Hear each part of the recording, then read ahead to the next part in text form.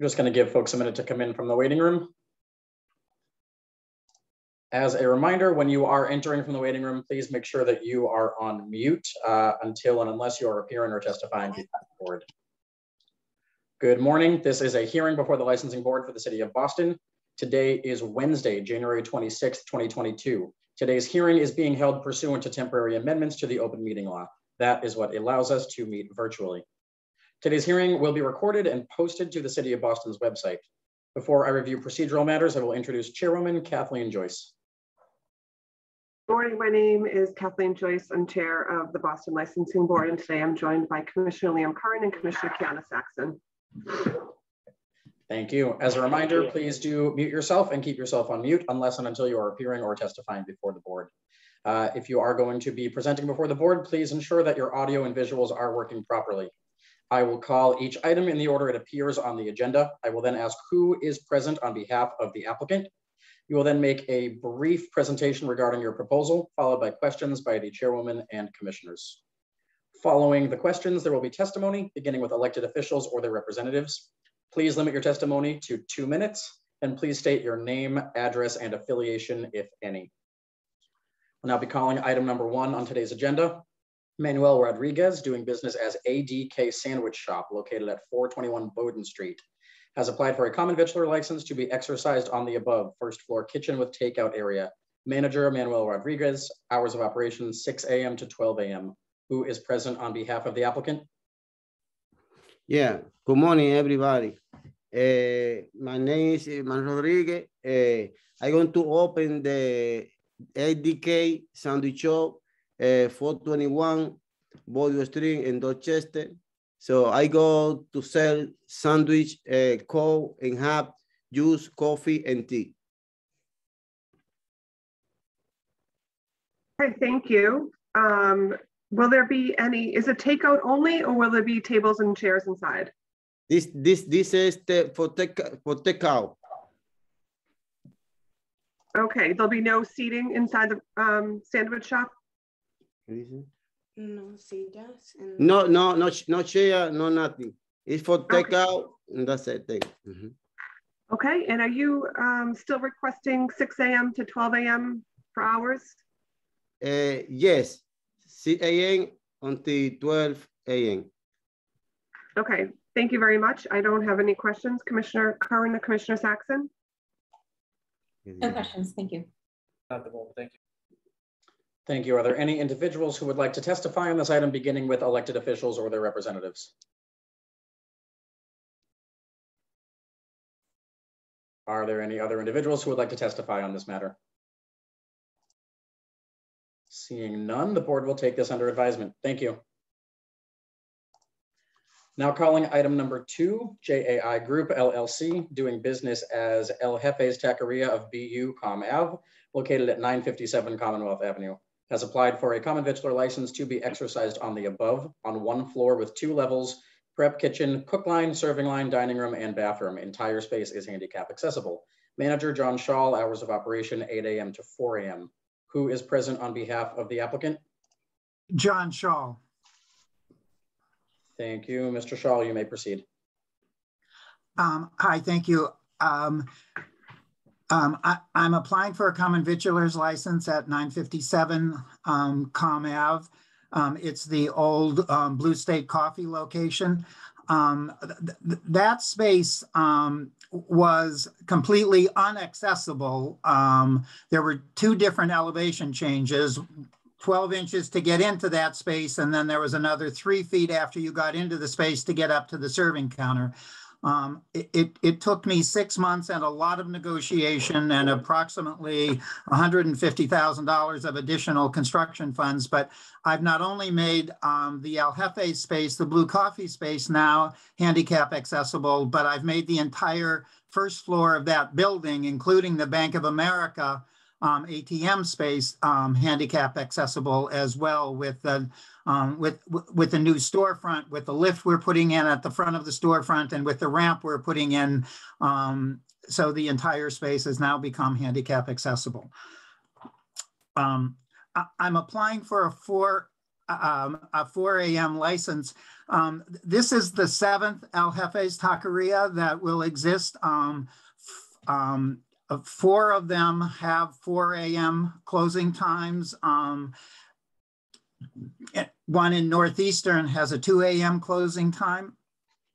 Um, the, the Harvard Square location was the original El Jefe's. It's been open for six years. It's had a 4 a.m. closing time for that entire six years. Um, and we have not in the in the 16 years that we have um, we've had sort of stores open for those sort of 16 store years. We have not had one single incident um, uh, as a result of our being open late. I, I, have a business model that where I do 30% of my business from midnight to 4 a.m. Um, and uh, um, it, it's part of, um, like I said, of, of, a successful business model that we've created. Um, I locate in places where being open late doesn't interfere um, and it, it, it's not in residential areas it's not in places where sort of um, where being open late uh, um, is an issue so um, um, I, I, I would just like to uh, encourage the board to I, I understand that um, because I was called last night at 7 p.m. Um, by a representative from Boston University that they're not um, going to support us being open until 4 a.m. Um, we, I, I made a presentation to the Allston Civic Association earlier in the month, um, and I, I, believe I had their total support, um, and I think someone will be speaking on their behalf today. Um, um, so at any rate, I just. Um, sure. Can I jump in and ask you a couple of questions, Mr. Sure. Shaw? So at this location, how uh, many um, seats will you have in the dining room? Um, 25. 25 seats. And of the four locations that have a 4 a.m. license, you said Northeastern is, you said Northeastern has 2 a.m., but of the four that have 4 a.m., how many of those are actually in Boston? Um, none of those are in Boston, but one's in Harvard Square. The Okay. original one is in Harvard Square. Okay, so other than the northeastern location, um, which, what, how many locations do you have in Boston?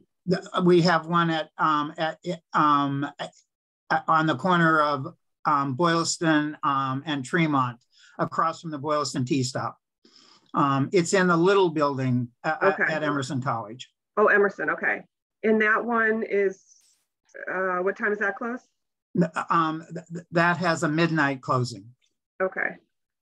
How long have you um, been open at the Northeastern and Emerson locations? Um, since March. Okay. Um, can you tell me a little bit more about how you got to the 2 a.m. and midnight closing there? Was that something you talked about with the community? Did they did you require Sure. 4 a.m. and then you went back to 2? Y- yes. Um, at, at, at, at the Northeastern, uh, um, I- met with the community, with the Fenway, um, uh, um, the Fenway Community Neighborhood Association and the Symphony Neighborhood Association. Um, and um, th- th- they were proposing um, a 12, a midnight closing um, Sunday through Thursday and Friday and Saturday, 2 a.m. Um, and I- then just made the request to the board to have it 2 a.m. seven days a week, and, and the licensing the licensing board approved that. Um, in the nine months since we've been open, once again, there's not been a single issue. Um, I'm a member of the Fenway um, Civic um, Neighborhood Association now. I help fund their outreach um, to people that um, uh, um, um, have needed food assistance. Um, eh, Okay, so so would you say um, you've been open for nine months at Northeastern and you're have a 2 a.m. closing there seven days a week? Yes. Okay. Um, and, and, and what can I, and also can I just say that the midnight to 2 a.m. are our two busiest hours of the day. Um, and even though we stop letting people in at 2 a.m., if their people are already in line in the store, they get to go through. And I have on average 30 people that are in line at 2 a.m.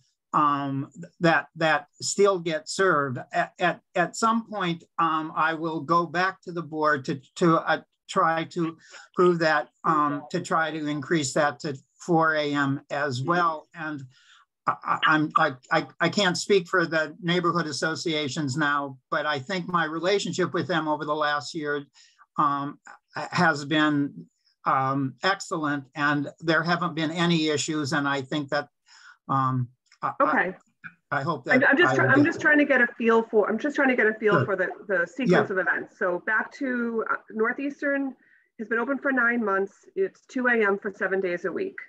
Your Emerson location you wanted later, but you settled on midnight and you plan in the future to come back and ask after you build up um, some sort of um, track record in those locations for, for a later time. That is fine. So I just, I'm trying to, trying to wrap Right. my head around it because we, Yes. I, I don't remember every single hearing. And also just for Emerson, just in the Emerson location, the Midtown Neighborhood Association um, was, was very vocal about not supporting a later than midnight license.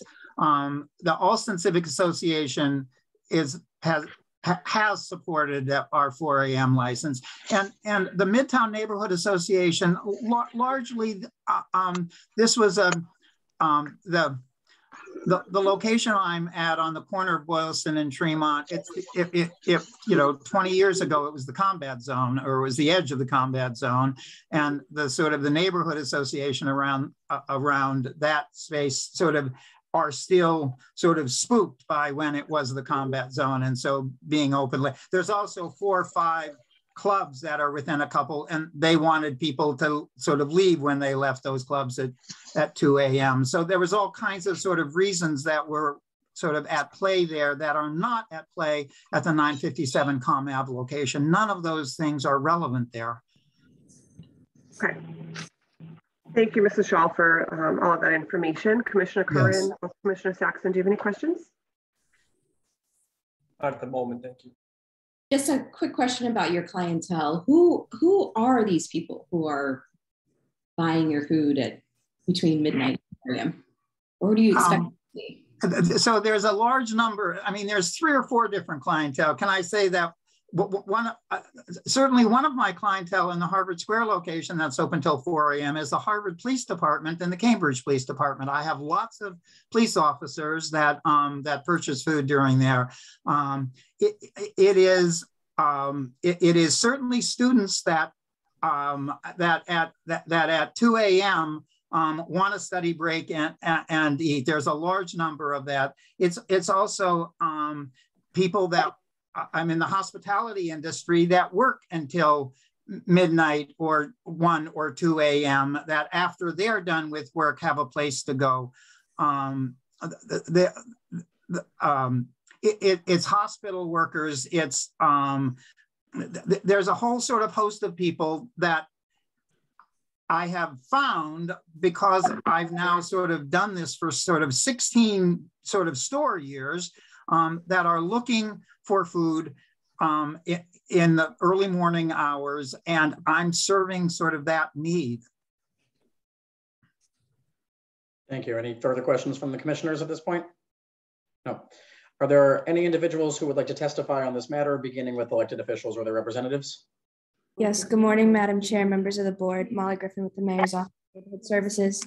Um, Speaking on behalf of my colleague Connor Newman, the applicant presented to the Allston Civic Association and has received their support. Uh, Residents felt that the closing time they're seeking is an appropriate part of the neighborhood, and residents also appreciated the owner's community ties and commitment to workers' rights. Um, At this time, our office would like to defer to the board, but we understand that Boston University has expressed some concerns and we will let them elaborate on those. Thank you. Thank you. Are there any other individuals who would like to testify on this matter? I see a raised hand from Ken Ryan. Good Morning, Madam Chair and Commissioners. My name is Ken Ryan, and I'm Director of City Relations in the Office of Government and Community Affairs at Boston University. I'm joined this morning by Kelly Nee, Chief of the Boston University Police Department. On behalf of Boston University, we are here this morning to express concerns related to the applicant's proposed 4 a.m. closing time. While the university is in support of and welcomes the applicant's new location at the former Blue State Coffee outlet at 957 Commonwealth Avenue, we feel a 4 a.m. closing is uncharacteristic for the area and could result in otherwise avoidable circumstances and incidents at that hour on Commonwealth Avenue. We respectfully request the applicant and the board to amend the hours of operation to 8 a.m. to 1 a.m., which would bring the taqueria in line with other late night dine-in and takeout establishments in the area, such as Blaze Pizza at 961 Commonwealth Avenue and Raising Cane's at 949 Commonwealth Avenue, which closed between 10 p.m. and 11 p.m., and T. Anthony's located at 1016 Commonwealth Avenue for over 35 years, which closes at 1 a.m. We very much appreciate the opportunity to express our concerns here this morning to the board and look forward to the applicant opening its new location on Commonwealth Avenue. Thank you. Thank you. Um, I see a raised hand as well from a Mark Harrington. Is that on this item? Uh, Good morning. Uh, This is Captain Mark Harrington from District 14 in Allston Brighton. Uh, I felt compelled to come on and, and just say that as a supervisor downtown for uh, eight years on the midnight shift, uh, where, where we had the nightclubs getting out and pizza stores and other stores uh, open, it, it creates problems. And uh, we don't want to have to commit police there on the midnight shift for, uh, for incidents. Thank you, Captain. Are there any additional individuals who would like to testify on this matter? I have a question for the captain. Mhm.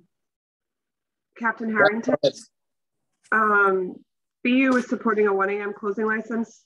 Um, are there other establishments in this area that are open till, till 2 a.m.? I mean, I, I don't expect you to know, but are you I- are you requesting a 1 a.m. closing or would you be amenable to 2 a.m.? I, that would, I think that would be more in line with the other stores in the, in the neighborhood. Uh, So 1 my, con- my concern is that I would have to commit cars down there on a nightly basis, uh, you know, after one AM. Okay, thank you. Thank you. Are there any additional individuals who would like to testify on this matter? Seeing none, the board will take this under advisement. Thank you. Oh, hang on. I do see a hand raised from Lieutenant Detective Troy.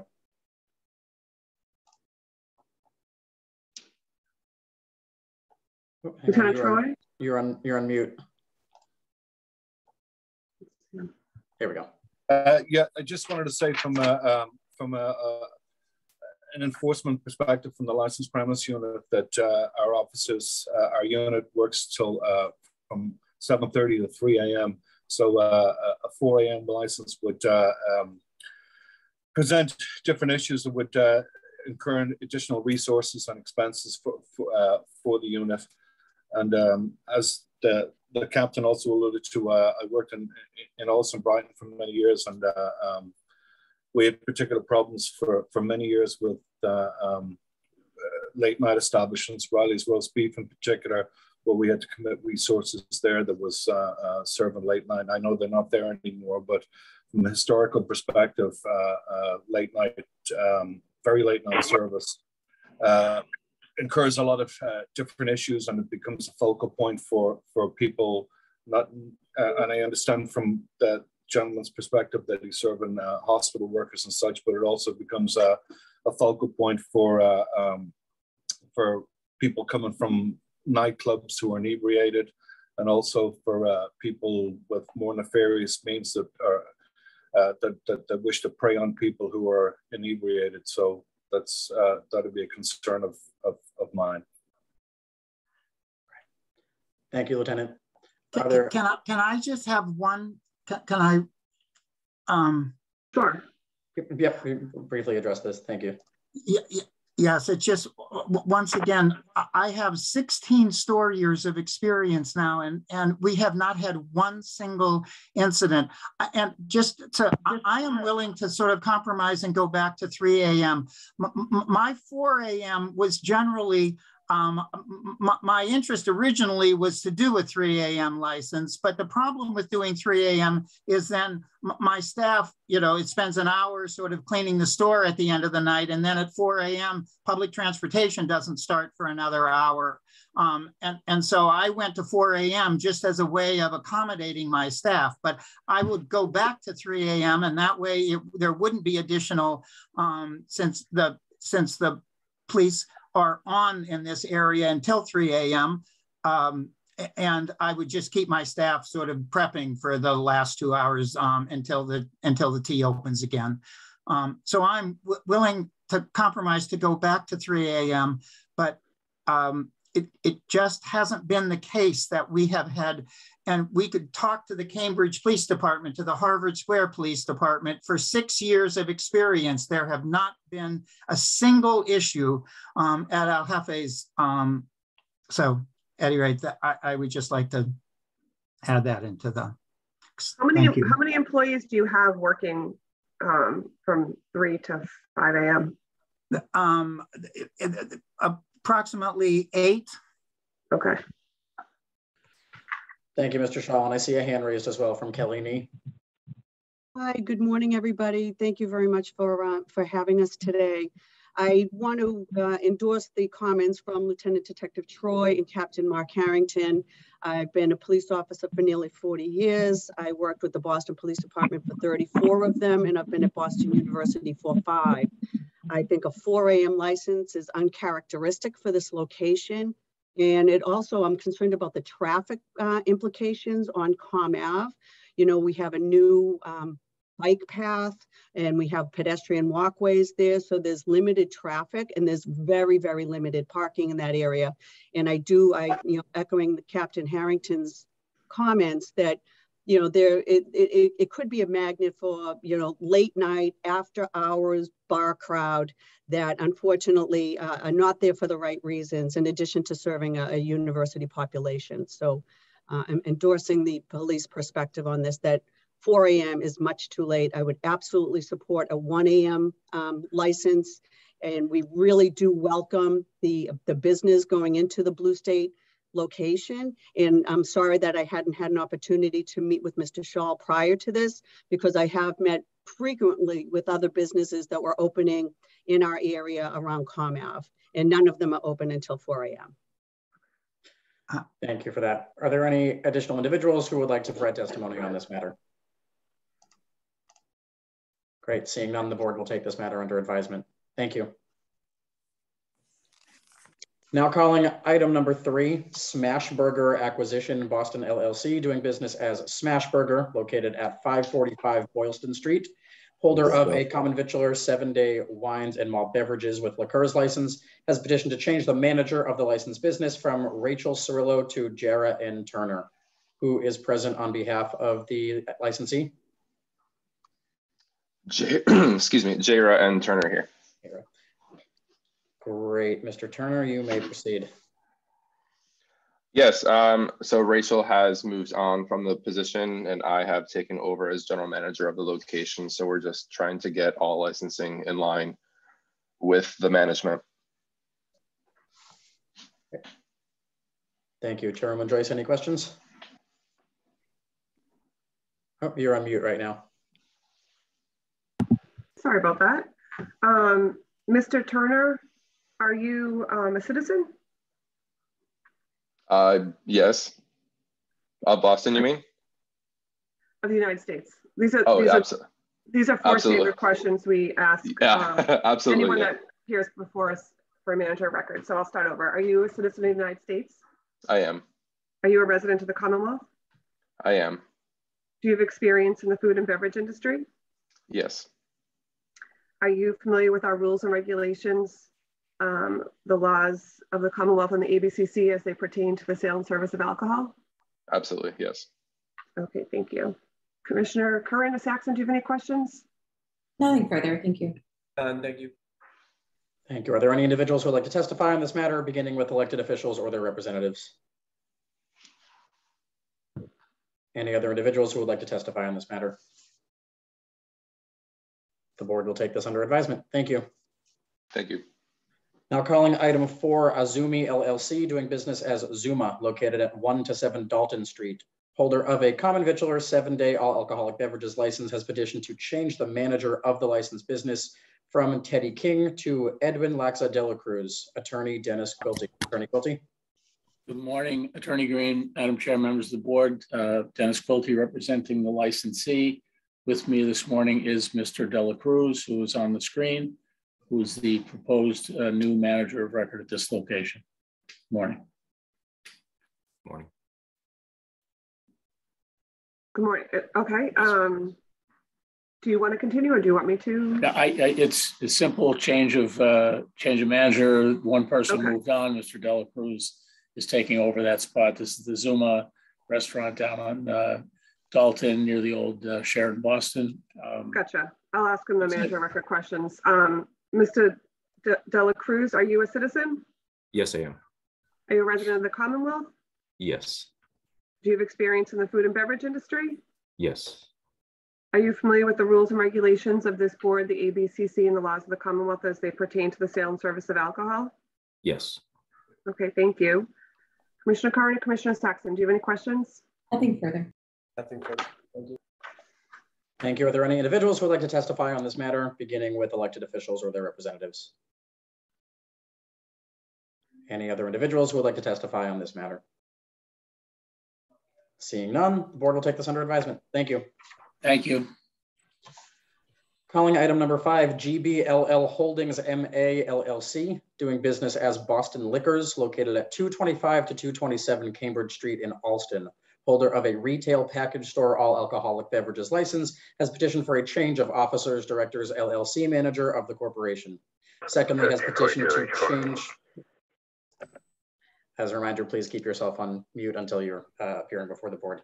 Secondly, the applicant has petitioned to change the manager of the licensed business from Ryan J. Grady to Richard T. Hanna, Attorney Joseph Devlin. Attorney Devlin? Uh, good morning. My name is Joe Devlin. I'm a partner at the firm of Upton, Connell and Devlin with offices at 112 Water Street in Boston, Massachusetts. I represent GBLL Holdings Mass LLC or MALLC. Uh, they're here as, as uh, described for a change of LLC manager and a change of manager record for a pending application at 371 Dorchester Ave in Boston. With me, I think, is Rich Hannum, who is the proposed uh, LLC manager and the manager of record. There's just, I've never seen so many people on here before. So I, I Rich, are you here? Yeah, good morning, Jeff. Great, thank you. Um, Rich is the Director of Regional Operations for the company. He will be the permanent LLC manager, but he's uh, temporarily filling in as the GM of this location until they locate and hire a new manager, and then we come back before you with a, a change of manager. Um, this is a pending application. It was a return no action because the officer, uh, the LLC manager, manager of record left employment uh, before the application could be approved and, and per ABCC custom and practice, they require us to go do a change of LLC manager to replace the person before they'll approve it. Uh, Rich is a resident of Massachusetts, 30 Mallard Drive in Sharon, Mass. He is a US citizen. He is also generally familiar with the rules and regulations of the city of Boston and the Commonwealth of Massachusetts for the service of alcoholic beverages, but is uh, going to take an in-person tips course uh, that the company is doing in February. So he will be tip certified before this application is approved as well. Um, his experience uh, prior to coming to GoPuff was seven years in Amazon, and prior to that, 20 years in the United States uh, Navy as a special operations officer. Um, there's going to be no changes to the operation or the uh, description of the licensed premises as, as previously presented to the board. Thank you. Thank you. I have no questions. Commissioner Curran or Commissioner Saxon? Thank you. Are there any individuals who would like to testify on this matter, beginning with elected officials or their representatives? Any other individuals who would like to testify on this matter? Seeing none, the board will take this under advisement. Thank you. Thank you. Calling item number six, Black Bottle Wines LLC, doing business as Coruscant Wines, located at 899 Congress Street. Holder of a retail package store all alcoholic beverages license has petitioned to pledge their license to Eastern Bank. Who is present on behalf of the licensee. Good morning, Mr. Green, Dennis Quilty, attorney representing the uh, licensee. Good morning, Madam Chair, members of the board. With us are uh, Steve and Dave Skerry, who are the uh, owners of the business. The board licensed this establishment uh, within the last probably three or four months. This is a new, a new uh, build out in the um, residential building uh, just across the street from the music pavilion on Northern Ave. The um, matter before you was a pledge of the license to their lender, Eastern Bank, um, for construction and related items. Uh, and again, Mr. Both Mr. Skerry are here to answer any questions you might have. I actually don't have any questions. Thank you for explaining the reason for the pledge. Um, Commissioner Curran and Commissioner Saxon? Nothing. Thank you. No questions. Great. Thank you. Are there any individuals who would like to testify, beginning with elected officials or their representatives? Good morning, Madam of the Chair, members of the board, Ana Calderon from Councillor Flynn's office. The councillor would like to go on record in support. Thank you. Thank you. Are there any other individuals who would like to testify on this matter? The board will take this under advisement. Thank you. Thank you. Thank you. Calling item number seven, Vesper LLC, doing business as Vesper Bar, located at 61 Brookline Avenue, holder of a common victualler seven-day all alcoholic beverages license, has petitioned for an approval of a management agreement between Vesper LLC and Fenway Plant-Based LLC. Attorney Nicholas Zazula. Attorney Zazula. Good morning, uh, Madam Chair, members of the board. Uh, Attorney Nick Zazula, McDermott, Quilty, and Miller, uh, here on behalf of the licensee, Vesper LLC, in the proposed management entity, Fenway Plant Based LLC at 61 Brookline Avenue. Uh, here before you today uh, with me is uh, Matt Bronfeld from the proposed management entity, as well as Melanie Isola. And I also have Panos Demeter from the licensee uh, and uh, license holder, as well as the uh, property owner. Um, you may recall, Madam Chair, we were here in front of you back in August for a corp to corp transfer where the owner of this property in the building, Panos, um, took ownership of his former tenant's liquor license. This was the uh, former Boston Beer Works location by Fenway, and he took control of the license upon termination of the business um, because of the, the pandemic. Uh, at that point, we were interviewing uh, potential suitable restaurant operators and concepts for the space. Uh, we had hoped to be back in the near future for that application. Uh, so we are here now, a few months later, seeking that approval. And uh, Panos has identified an operator uh, under a, a, management agreement setup uh, where the operator will manage uh, and operate the liquor license for him as the licensee and property owner.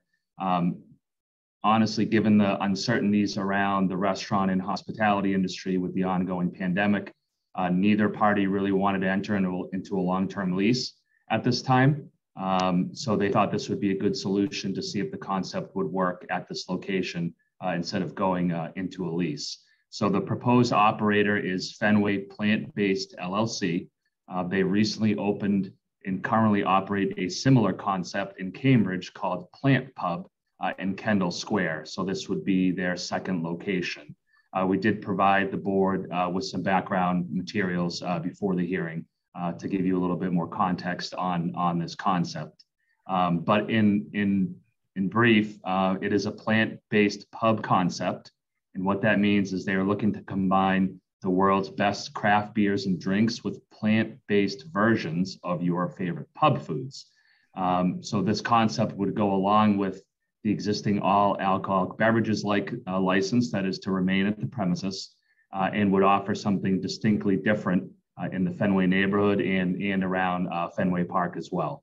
Um, there are no alterations to the premises. They will maintain the existing 1 a.m. closing hour, um, likelihood of slightly reduced hours on game days uh, and on, uh, I'm sorry, on non-game days and during the week, as is pretty typical in the Fenway neighborhood around the ballpark.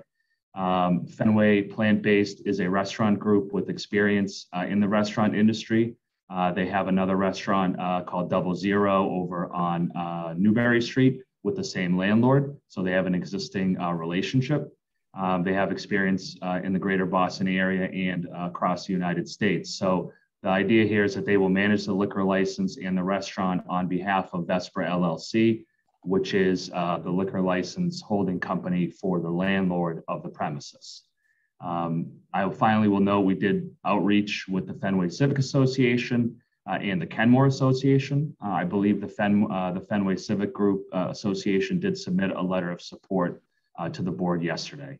Um, again, you know, I know that was a lot of information, but um, you know, both myself and Matt and Panos are here and happy to answer any questions that you may have on the application. Thank you. Uh, thanks, Attorney Zazula. I know it's not before us today, but who is going to be the manager of record here? So uh, that's a good question, Madam Chair. Right now, the manager of record is uh, Mr. Demeter, uh, who is um, the, the, landlord and who is the manager of record from the corp to corp transfer back in August. Um, mm-hmm. Right now, they do not have a manager of record uh, set up for the store because they are still uh, getting up and, and, and operating. So the, the idea would be that we would be back in front of you uh, with that manager of record before opening. Right now, they don't have that person identified. Um, so okay. we would be applying shortly uh, as we get closer to opening. I think they're looking to open later in the spring. Um, so Mr. Demeter would not be the manager of record when they open and operate, and, and we will be back before you for that uh, specific application when they get closer to opening. Okay, thank you. Commissioner Curran and Commissioner Saxon, do you have any questions? None for me, thank you. None for me, either. Thank you. Thank you. Are there any individuals who would like to testify on this matter, beginning with elected officials or their representatives? Good morning, Madam Chair, members of the board, Molly Griffin with the Mayor's Office, Neighborhood Services. Um, our office would like to defer to the board on this decision, but we have received, or I've received um, a letter of support from the Fenway Civic Association regarding this. Thank you. Thank you. Are there any other elected officials or representatives who would like to testify on this matter before we turn to general testimony? No, thank you. I do see a raised hand from Pam Beal. Yes, good morning. My name is, uh, good morning, Madam Chair and members of the board. My name is Pam Beal and I'm here in my capacity as president of the Kenmore Association to support this new management agreement and to let you know that we're looking forward to working with this new group as they activate this space. So we hope that the board gives us a positive approval. So thank you. Thank you. Are there any additional individuals who wish to testify on this matter?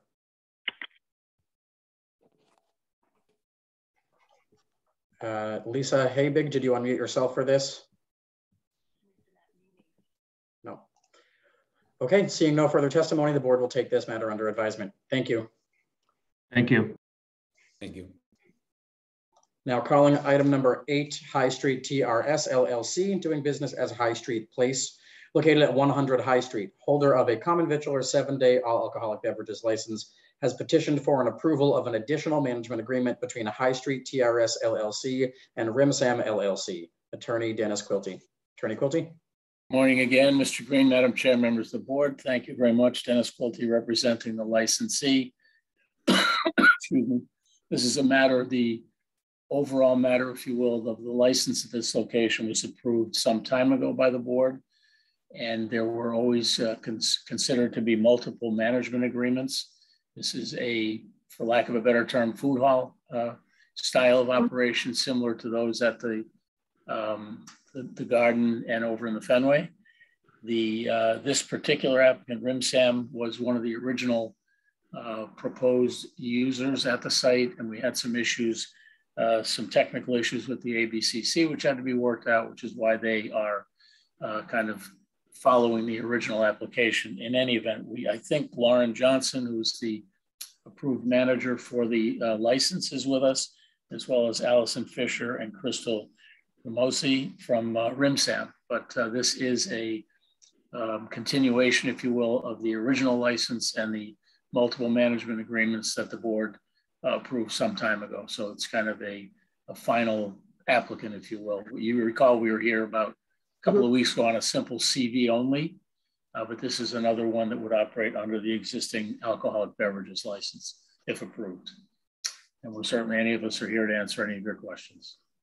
Thank you, Attorney Quilty. I'm just curious, how many um, places will be operating under the um, liquor license at this Is location? Lauren with us is plus or minus 11 or 12? Yeah. Yeah. There, there she is. There's Lauren. Hi. And that So they just- all Yeah, could you tell us a little bit more about that? I didn't hear the Are they question. all up and opened or uh, what's the timeline? I haven't been there yet. So we're going to be opening in March. Um, we just obviously had some difficulty getting open with the pandemic. Uh, we're supposed to open March 2020 and then have just delayed with the um, slow uh, occupancy level of the properties surrounding the food hall. Okay. So there'll be 11 or 12 in separate like food stalls operating under this one liquor license. Precisely. Yes, ma'am. Okay. Thank you. I don't have any questions. Commissioner Curran or Commissioner Saxon? And for me, thank you. Questions. Are there any individuals who would like to testify on this matter, beginning with elected officials or their representatives? Madam of the Chair, members of the board, Ana Calderon from Councillor Flynn's office. The councillor would like to go on record in support. Thank you. Thank you. Are there any additional individuals who would like to testify on this matter? Seeing none, the board will take this under advisement. Thank you. Thank you. Calling item number nine, Columbus Avenue Liquor Group, Inc., doing business as Wine Emporium located at 474 Columbus Ave in Roxbury. Holder of a retail package store all alcoholic beverages license has petitioned to pledge the license, stock, and inventory to Newburyport Five Cents Savings Bank. Attorney James Rudzer. Attorney Rudzer. Uh, Good morning, um, Madam Chairman and members of the board. My name is James Rudzer and I represent Columbus Ave Liquor Group, Inc. Um, What's before you is a petition to pledge the license, the stock, and the inventory. It's a refinance of an existing uh, commercial loan that the business has. Okay. Thank you very much, Attorney Rudzer, for that explanation. Commissioner Curran, Commissioner Saxon, do you have questions? No questions. Thank you. None for me, thank you. Thank you. Are there any individuals who would like to testify on this matter, beginning with elected officials or their representatives? Any other individuals who would like to testify on this matter? The board will take this under advisement. Thank you. Thank you. Calling item 10, University of Massachusetts Building Authority, doing business as University of Massachusetts Club located at 1 Beacon Street. Holder of a club all alcoholic beverages license has petitioned to change the manager of the licensed business from Abby Pingator to David Eichstadt. Secondly, has petitioned for an approval of a management agreement between University of Massachusetts Building Authority and University Services, Inc. Attorney Nick Zazula. Attorney Zazula. Uh, yes, good morning. Uh, again, Madam Chair, members of the board, Attorney Nick Zazula, McDermott, Quilty, and Miller, uh, here on behalf of the University of Massachusetts Building Authority at one, uh, DBA UMass Club at 1 Beacon Street. Uh, with me today is David Eichstadt, uh, who's the general manager and the proposed manager of record. Um, for two updates on behalf of the licensee, um, this is a club uh, all alcohol license located on Beacon Street. And uh, the first thing I'll go into is the approval of a, of a management agreement. Um, this is a long-standing management agreement for about six years um, that uh, ha, um, has not been approved by this board uh, or the state. So we're seeking approval of it today. Um, the University of Massachusetts Building Authority is the licensee. Uh, they are a body, politic, and a corporate and public instrumentality of the Commonwealth of Massachusetts. Um, and they are, as the licensee, have contracted under a management agreement with University Services, Inc., uh, which is a Massachusetts nonprofit corporation since 2015. Uh, and that is to manage the UMass Club for the operation, supervision, management, uh, et cetera, of the license and the licensee at One Beacon Street. Uh, University Services, Inc. Uh, was organized and operates exclusively as a supporting organization under the uh, Internal Revenue Code of 1986 for the benefit of the University of Massachusetts. And what that means is they perform the functions of the university, uh, including the management and operation of its dining and social clubs in the state, and that includes the licensed premises um, and the licensee. So University Services uh, supervises, manages, directs all the things under a management agreement uh, for the licensed premises on behalf of and for uh, the licensee, not only at this location, but uh, at other locations in the Commonwealth. Um, the licensee's board, again, which is the University of Massachusetts Building Authority, has no real role over the operation of the license. Uh, it's an appointed, uncompensated, and volunteer board. Um, and Unfortunately, as a club licensee with the volunteer board, uh, officers, et cetera, this management agreement, although it has been in place for several years, uh, was never actually submitted for approval to the city or the state. So we're looking to rectify that today uh, with this application. Uh, we're looking to have uh, it officially recognized and approved um, by the board. So that was the first application, Madam Chair. I'm happy to pause there or, or I can go right into the, the manager of record as well if you'd like. You can proceed. Thank you, Madam Chair. So the second uh, application uh, matter is for a change of manager of record to Mr. Eichstadt. Uh, he is here on video with us today. Uh, he's a longtime UMass employee for over 15 years, and he's actually been at the UMass Club since 2015 when they moved to 1 Beacon Street. Um, he previously was the manager of record on a UMass liquor license uh, at, in Amherst at their main campus. Uh, so he has extensive experience with many years in the industry uh, in supervising the alcohol sales uh, to customers. Um, as required, uh, Mr. Eichstadt is a citizen of the United States. He's a resident of Massachusetts. He's over 21 years of age, uh, and he has experience in the restaurant and hospitality industry. Um, besides the approval of uh, Mr. Eichstadt as the manager of record and uh, asking for the approval of the, the management agreement that's been in place, there are no other operational changes uh, no changes to the hours or anything like that of, of the UMass club. Um, so I know, again, that's a lot of information. Uh, either myself or Mr. Eichstadt are happy to answer any questions you might have on the application. Thank you. If Mr. Eichstadt would just say hello because I don't see him on my screen. Yeah. Hi, good morning. Uh, Oh. Can you hear me okay? Yeah. Yeah, okay. Morning. Thank you for thank you for joining us um, and your um, attorney um, read into the record um, the four manager of record questions. We just have to make sure you're here with us. Sure. Yeah. Um, do you have any questions, Commissioner Curran or Commissioner Saxon? I do not. Thank you. I do not. Thank you. Thank you. Are there any individuals who would like to testify on this matter, beginning with elected officials or their representatives? Any other individuals who would like to testify on this matter? Seeing none, the board will take this under advisement. Thank you. Thank, Thank you. you. Calling item 11, Qdoba Restaurant Corporation doing business as Qdoba Mexican Eats located at 101 Causeway Street. Holder of a restricted common victualler seven-day wine malt beverages license has petitioned for a change of officers, directors, LLC manager. Who is present on behalf of the licensee? Cindy Block. Thank you. Uh, Ms. Block, do I understand correctly that item 12 is the same transactional matter? That is correct. Okay, I'll read item 12 into the record as well. Uh, Qdoba Restaurant Corporation doing business as Qdoba Mexican Eats located at 17 to 23 Forsyth Street. Holder of a common victualler seven-day wines and malt beverages license has petitioned for a change of officers, directors, LLC manager. Ms. Block, you may proceed. Thank you very kindly. Good morning, board. Uh, Qdoba Restaurant has recently had a upheaval of officers, so to speak. We originally had Chip Siegel and Keith Gilbert on the license. Uh, Chip Siegel has terminated out. In his replacement, uh, a gentleman by the name of Levithan Wynn was hired. Prior to Mr. Wynn being qualified by the board, he terminated out. Board has decided that the only officer to keep on the license at current moment is Keith, and Keith will be acting as president, uh, secretary, and CEO uh, for the remaining uh, time. Thank you very much. I don't have any questions on 11 or 12. Commissioner Curran, Commissioner Saxon, do you? None from me. Thank you. I do not. Thank you. Thank you. Are there any individuals who would like to testify on these matters, beginning with elected officials or their representatives? Are there any other individuals who would like to testify?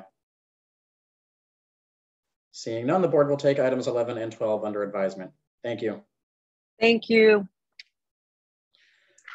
Calling item 13, Unity Sports and Cultural Club, Inc., doing business as Unity Sports, located at 10 Dunbar Avenue in Dorchester. Holder of a common victualler seven-day all alcoholic beverages license has petitioned to provide bottle service on their licensed premise. Attorney Michael Ford. Attorney Ford? Good morning, Michael Ford here for Unity uh, Sports and Cultural Club. Uh, with me is uh, Sean Cooper, the uh, President Emeritus and Vice President of the nonprofit. It's located on Dunbar Ave in Dorchester, and it's a request for bottle service. Uh, existing alcohol beverage uh, license, give you a little bit of the history. It's a nonprofit. It's more than just a bar. It's a center of community gatherings for the people from the West Indies and the Caribbean. They've been uh, functioning and going strong for approximately 53 years, promoting their cricket and, and other charitable uh, events. The request for the bottle service is really as an amenity to an establishment that's uh, already doing events and functions.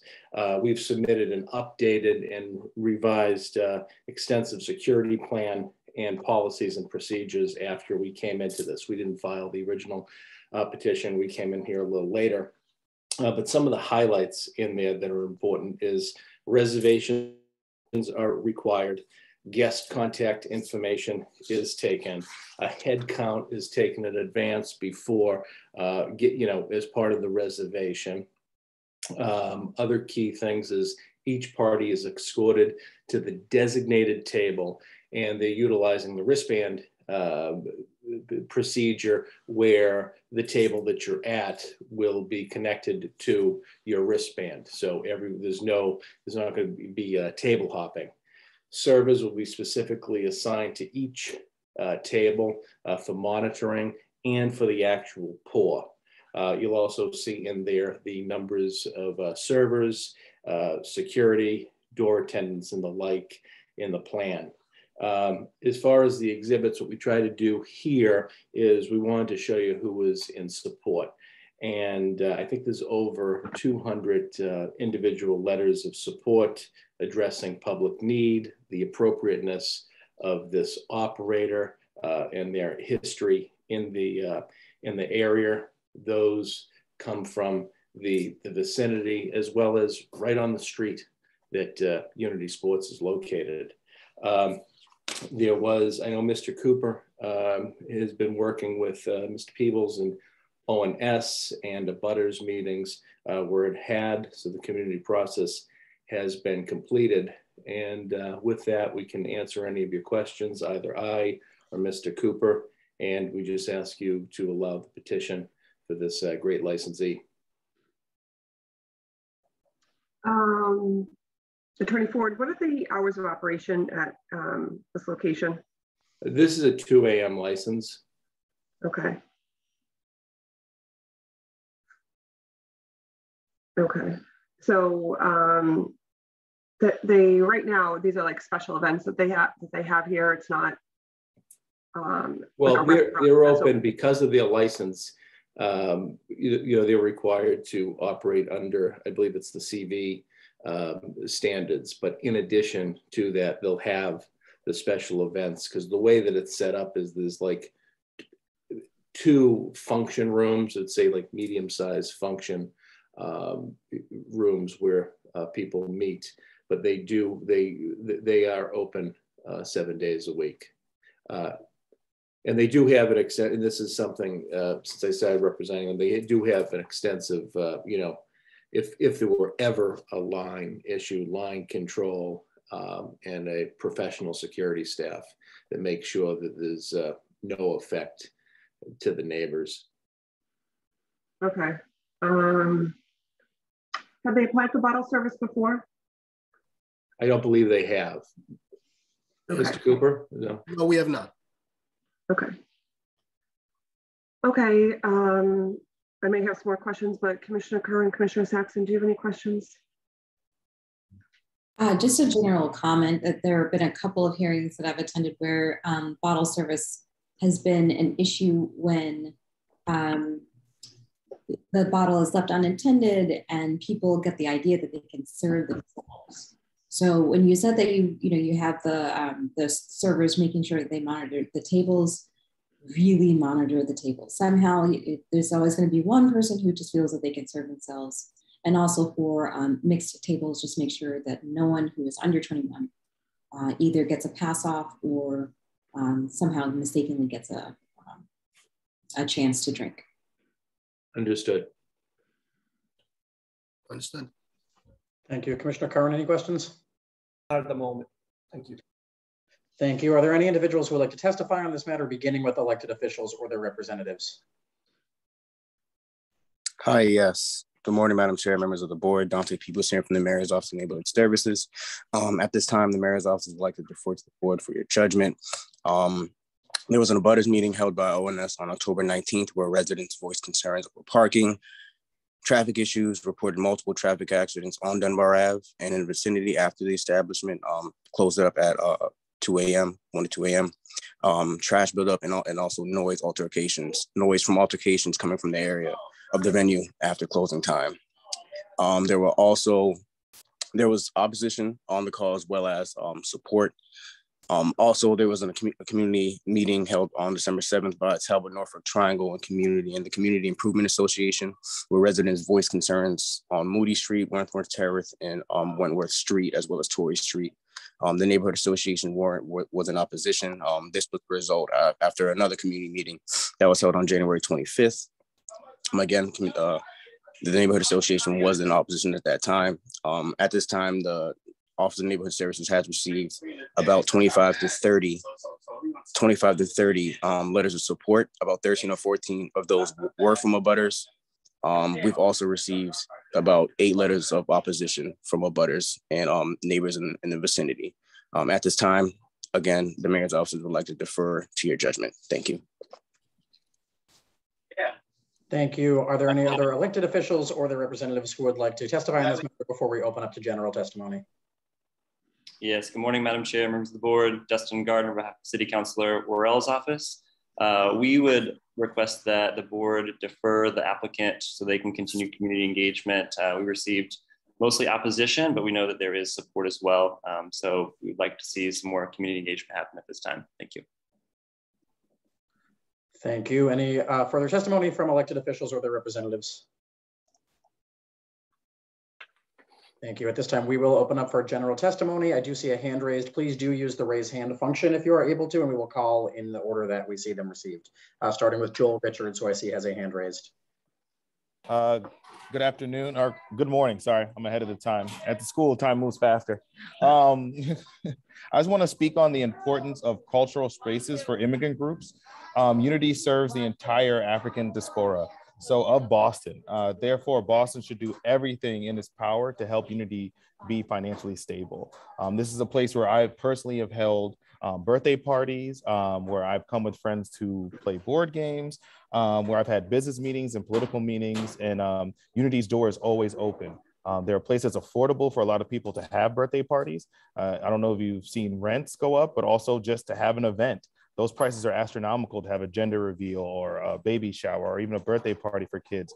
And Unity always opens its doors. Uh, they discount their prices, they decorate the room, and they go over and above. Uh, they also are the few places when people ask, where can I get this kind of fish or where can I get this kind of liver? Um, Sean Cooper's mother herself um, makes this food and other and training other people and teaching other people and passing on these recipes for people to be able to experience these cultural importances. Um, America historically has been hostile towards these cultural places. We also have to recognize that in our past because then we can't recover. So without, so we should take this as a time to yes, help unity on whatever it needs to um, bond with the community to get this license so that they can stay financially stable. That's all I have to say. Thank you.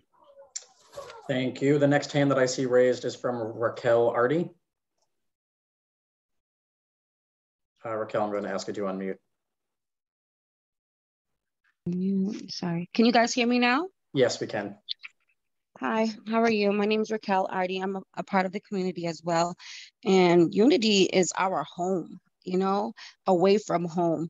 Unity provides, you know, a lot of things for our culture. Just like he said, you know, part, keeping birthday parties. My son died in 2020 and I'm a person of the community. I'm also, you know, I keep small events and Unity I didn't even know I was in such devastation when my son passed away. And they opened up their home free of charge, their club uh, free of charge, and was like, you know what?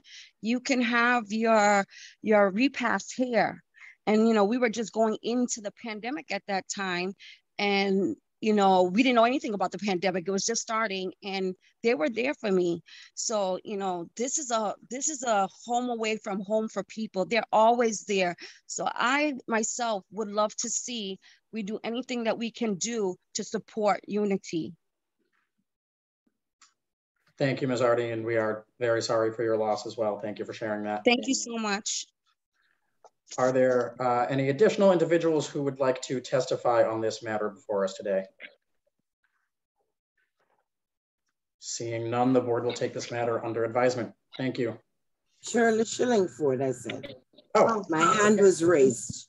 Yes. So sorry, I did not see that on the on Okay. the first page of the screen. Go ahead, Ms. Shillingford. Sorry about. Um, my name is Shirley Shillingford, and I've been working for the city of Boston now for 47 years. That's how many years I have been working with the people at Unity in a- an official capacity and otherwise. I can attest to Unity and the things that they do here. I mean, we have had our senior ball there for years. We have had it there. It's a part of public health, the carnival, Boston Police B3. And so they have hosted it at no cost to the community. We have had about 300 seniors every single May. The last Friday in May, it's hosted there.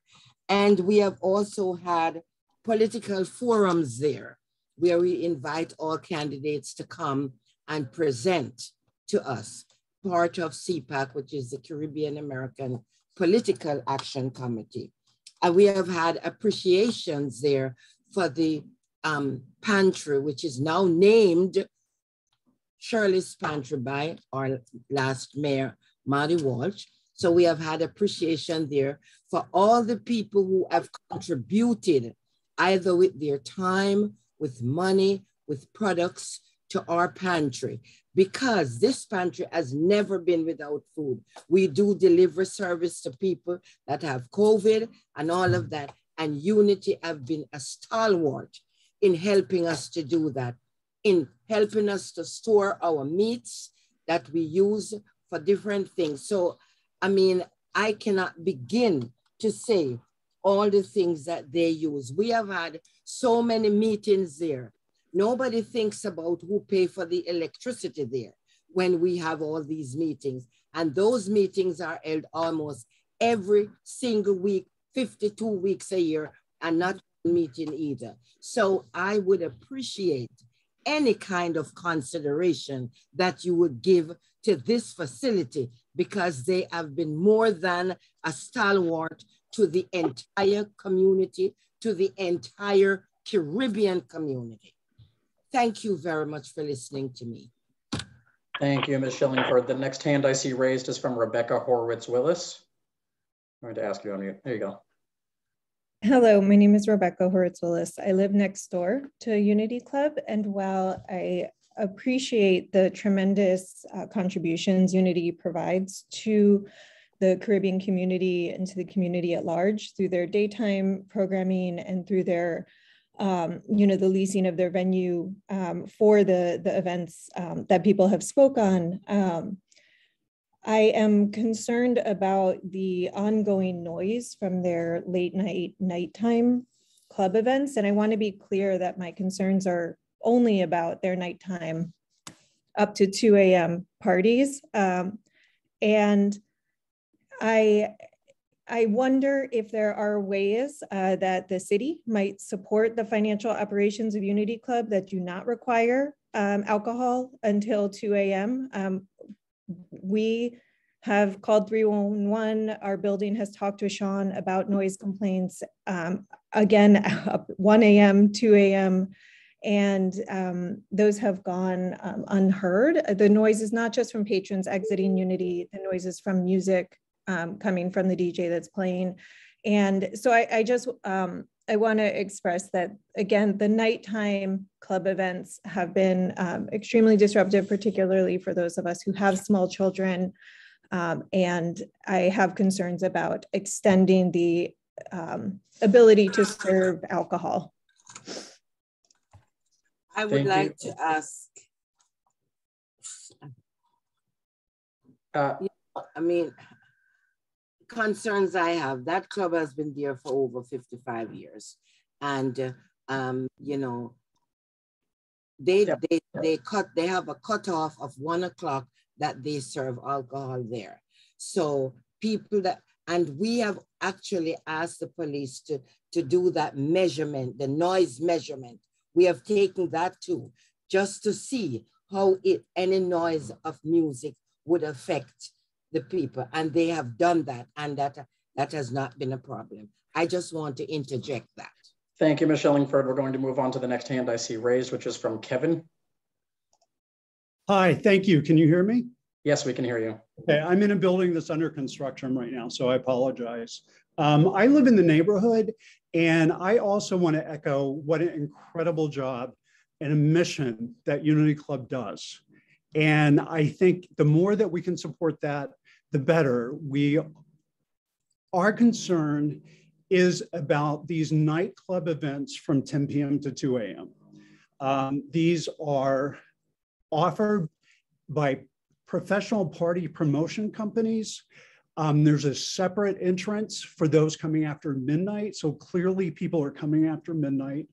Um, we don't understand why this is needed, full bottle service for patrons until two o'clock a.m. And I realize um, maybe there's last call at one. I heard there was last call at 1.30. Um, the concern is that it's just simply not needed.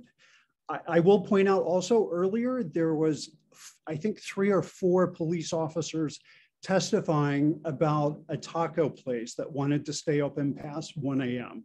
And all of those police officers cautioned it and were against it because of the increased traffic, the inebriated patrons that would leave the restaurant. And that taco restaurant was not in a res residential area. This one is.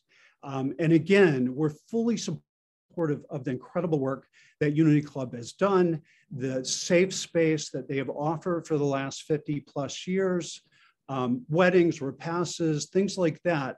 This is not in opposition to that. This is about nightclub events until 2 a.m., now with full bottle service in a residential area. Thank you. Thank you. I do see Raquel Artie, you've raised your hand again. I know you've already testified. Was there something briefly you wanted to add to your testimony? Or is your hand just still raised from earlier? No, I, I, I, can you hear me? Yes, we can hear you. Yes. What I also want to say um, on behalf of the community, this is our community. When we say we want full bottle service, this is a touch of class. Like we are human beings to be served in our community. I, I mean, I don't see anything wrong with that. What would be the difference if you would go up to the bar? To, for us to sit down, have a nice night out with your spouse or your friends, and someone to come and greet you as a human being and serve you and make you feel like you're having a, a touch of class. I don't, I don't, I don't understand. I, I really oh, think that I can jump, I can jump in, Raquel, and give you a little bit of uh, some of the concerns the board sees. We, we agree. I, I see what you're saying, how it changes the dynamic of the club. Definitely. With, with, bottle service comes responsibility, and the licensee is then responsible for over service, for anything that could happen with bottle service, which we're not going to get into right now, but there are concerns with it. We see in other parts of the city, um, uh, the, the, as Commissioner Saxon said, we, we see at other places that um, people are serving themselves. There's not enough staff to take a look at um, who is actually consuming the alcohol, but this is just this isn't a violation hearing uh, at any part. We're not we're not discussing um, you know Unity as a licensee right now. We're just we're just taking the application into consideration for adding this. So. Um, okay, I just want there, there are there are there are responsibilities that come with this type of license and this change, Absolutely. and I don't want to dismiss those because they're very important. And Absolutely. in the eyes of the board, um, they are extremely important. So we're going to move on from people who have already spoken to people who haven't. Where um, we have a, a long agenda today. Thank you, Chairman Joyce. Are there any additional individuals who have not yet testified who would like to testify on this matter? Hi, can you hear me? We can. Could you please uh, identify yourself for the record? I only see a phone number on here. Sure. Um, I'm Anthony Gill. I'm currently um, a member of the Unity um, organization. And I just like to um, offer my support um, here at this hearing for them to get the opportunity to offer bottle services, uh, which is basically, it's going to be, it's, it's really 10, 10 to 15 feet away from where the bar exists right now. Um, this request is to get the service, and I do understand from the commissioner that there are certain um, requirements with having table service, but um, this request is to serve drinks 10 to 15 feet from where we currently um, serve um, drinks. And this will give Unity the opportunity to offer um, additional service to the community. Okay, can I, can I just jump in? I want to ask your attorney, does your client know that you can't just have bottle service 10 feet from the bar? So there has to be No. servers there? Oh, no, oh, that's, that's, sorry, my, my estimate, don't go with my numbers. This is just, I- I'm just making an analogy that is not too far. I mean. It's a totally I- different, I- it's a totally different business model. I want to make sure your attorney has explained that to you. It's Okay, his sure. responsibility to make sure you I- I understand what comes with it. It's ten, feet. it's, it's not. I've explained it to Mr. Cooper. Okay. Yeah, I think, I think, what- I think what this fine gentleman is doing, he's just trying to draw, and I, and he's not my client, is trying to just draw the analogy, the, uh, the analogy, but no, that is not part of our, uh, of our plan. I do have some ideas to address some of these things, which I think will, uh, Could I finish? help the board once Um, everybody finishes. Commissioner? Well, Basically, what I also want to say that this is not um, any special accommodations, uh, any special, new special accommodations we're asking for. We're not really asking to extend any hours. Um, Unity is, it's a staple in this community for over 55 years, so we have to, we have to be a good neighbor and responsible neighbor to be in existence for over 55 years. And, the, and what this will just do will just give us the ability to offer additional services to the community. So that's that's that's my um, support on this request. Thank you. Thank you. Uh, I see another hand raised from Jason Lambright.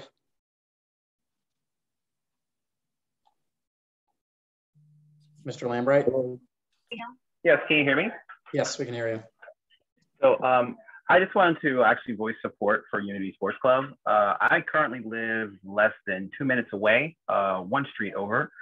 Uh, the person that lives in the very local area of Unity Sports Club, I can tell you, uh, having been here for the last six or so years, as far as general noise after two, maybe it's because it's just me living in a city, but it hasn't been additional after two o'clock for me. I haven't been able to hear any loud music additionally from them for me. Uh, I have on a regular basis just not had that much of a noise issue with it. I follow the Citizen app. I checked Citizen app. There's not been any additional police and or involvement that I've noticed within the past year or two regarding Unity Sports Club from what I've seen. They seem to be able to run a pretty decently well maintained and secure uh, location. And uh, I just wanted to again voice support for what they're doing and that it would be for me a definite boon for the neighborhood to have something like this available to us within a local area versus having to go out of the neighborhood we're in to somewhere like say a back bay or some other location in outside of Boston to do that, which then leads to less safe issues. So I just again want to make sure I stress my opinion that I do agree with what Unity Sports Club is doing. Thank you. Thank you. And I see another hand raised from Jaja. Um, if you could please identify yourself before you testify. Hello, good morning. My name is Jaja Rudder. Um, I live in I live within the area in um, Square, Dorchester area, from Unit around Unity area. I grew up in that area. I always attended Unity. I used to play carnival for Unity as a child. I go to a lot of Christmas parties for the kids as a youth growing up, and I still attend Unity Sports and Culture Club. Um, it's close to my house, so I don't have to commute. So it's a it's a good thing to have in the area where I don't have to worry about my safety or anything because there's everybody in the neighborhood that attends the club, and um, they have good food, nice people, and I would like to see Unity to continue. And um, I hope y'all take that in consideration. Thank you for that, Mr. Rudder. Are there any additional individuals who have not yet testified who would like to testify on this matter? I'm sorry, can I say something, please? My name is Crystal. Go ahead. I'd like to say I'm in, I'm with Unity for uh, for them to be basically be able to go ahead and get the bottle service license because I feel like as a people, they've been responsible enough serving alcohol and keeping us safe and making sure that there's security and everything like that. I've been to bars on Dorchester Ave that also serve alcohol. They close, of course, before 2 a.m., but I've seen rowdy situations happen outside. And maybe it's not spoken of as much because it's not recorded and reported as much. But Unity has been in the neighborhood for many years.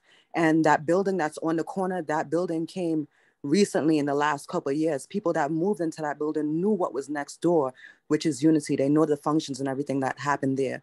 So if the noise is a problem, which I'm sure they have tried to work with the work with the patrons and work with the police and work with the community to keep it at a minimum i think a better option should have been to not move next door to a sports and cultural club that the neighborhood has been going to and they have been serving for x amount of years. And now that we go to develop and and get another pillar of a benefit to go there i think it's something that should be done because we as a people deserve it and unity deserves to be able to gain another income to be able to upgrade their space for us as a patrons and as a community. So that's what i have to say. Thank you. Thank you. I see another hand raised from ms. Mo Filla. Uh, if you could please unmute yourself and identify yourself. Hi, yes, I'm Ms. Mofilla, and I'm a representative or a resident here in Dorchester. I'm in support of Unity um, having bottle service. I actually like to pick, piggyback off the last speaker and, and her sentiments. Ultimately, this is just a benefit for Unity to be able to control the alcohol consumption and um, actually be able to have more monitoring ability. So um, the complaints about noise and things of that sort are not necessarily re relevant to what we're asking to do for the community and for unity, which is a big staple in our community. Um, so I just like to testify that I am in support of unity getting this um, opportunity. Thank you for that. I see another hand raised from Dale's iPhone. If you could please identify yourself before you speak. Hi, um, my name is Dale Peters. Um, I work for the city of, Boston as well. Um, I've been a, a patron of um, Unity Sports Club um, for years since I came to this country. Um, I also do um, business with, with them as well, and they have been um, a, a, pillar of of the of the community. So I'm definitely in support of the um, of the the the, the border service. Um, uh, again, I think it would it would bring a different type of ambience to the to the club, and again, I'm just in support of it. Thank you. I don't see any other hands raised. Are there any other individuals who have not Hi. yet testified who would like to? Hi, good day. I'm unable to wave. I'm not too sure why. So that's my name That's is okay. Quindel Bra. My name is Quindel Brasner. Um, I also work for Unity as a promoter there. Um, it, the, the, the service that we're asking for would give us the opportunity to provide that that comfort to patrons. And yes, we would have enough, you know, it would help us actually be able to hire more, more, staff. Of course, it would be from people in the general area, of course. Uh, and I think it would work in great favor of, of, of the of what we're trying to, to, to do or cater for, be able to cater for the people that support the unity for over 50 something years in reference to the license and the complaints in which people have in terms of the noise, everything was already done. I don't think this hearing is about that. Um, so, but in reference to the bottles and the services, we would make sure that there's enough people there to actually help us serve the, the liquor and, and, the, and the consumption of the alcohol will be in, in pretty much monitored as well. Thank you. Thank you. Ms. Tony J, I see you have a hand raised. Hi, good morning. Uh, my name is uh, Tony. I am a representative of Spark FM Online. It is a radio station that serves the urban and Caribbean um, community here in Boston. Um, we are calling in support of the of Unity. We would love to see bottle service. We would love to see Unity be able to um, upgrade itself and, and to do more for our community that it's already done. We um, definitely we want to let you know we are on the morning show right now. We are broadcasting this whole meeting live to our morning show audience who has been tuning in and and um, and giving their opinion. And we all want to let you know, Unity, we support you. We have supported you. We will be supporting you. It is a very very good idea to have bottle service. If all of these complaints that the neighbors are having with regard to the noise and with it being disorderly and all of that, it allow Unity to do the bottle service. It is a way to, as Ms. Artie stated, I, I stated this in the comments, to have a touch of class in there. It is a way to for crowd control. It is a way for there to be a lounge, taking it away from a nightclub sort of environment into having it more like a lounge where people can be. Unity has, has always been a place where people gathered, as everyone else has stated, it's a place where we have birthday parties, we have repasts, we have christenings from, from all orders of life. We have always had unity in our community. Our grandmother, who was a member of Unity up until the day that she died, has always supported it and she passed it on to all of our generations. And that's what we've also done we just want to let Unity know we are here, we support you, and we definitely suggest that that you uh, uh, approve this for them. Thank you.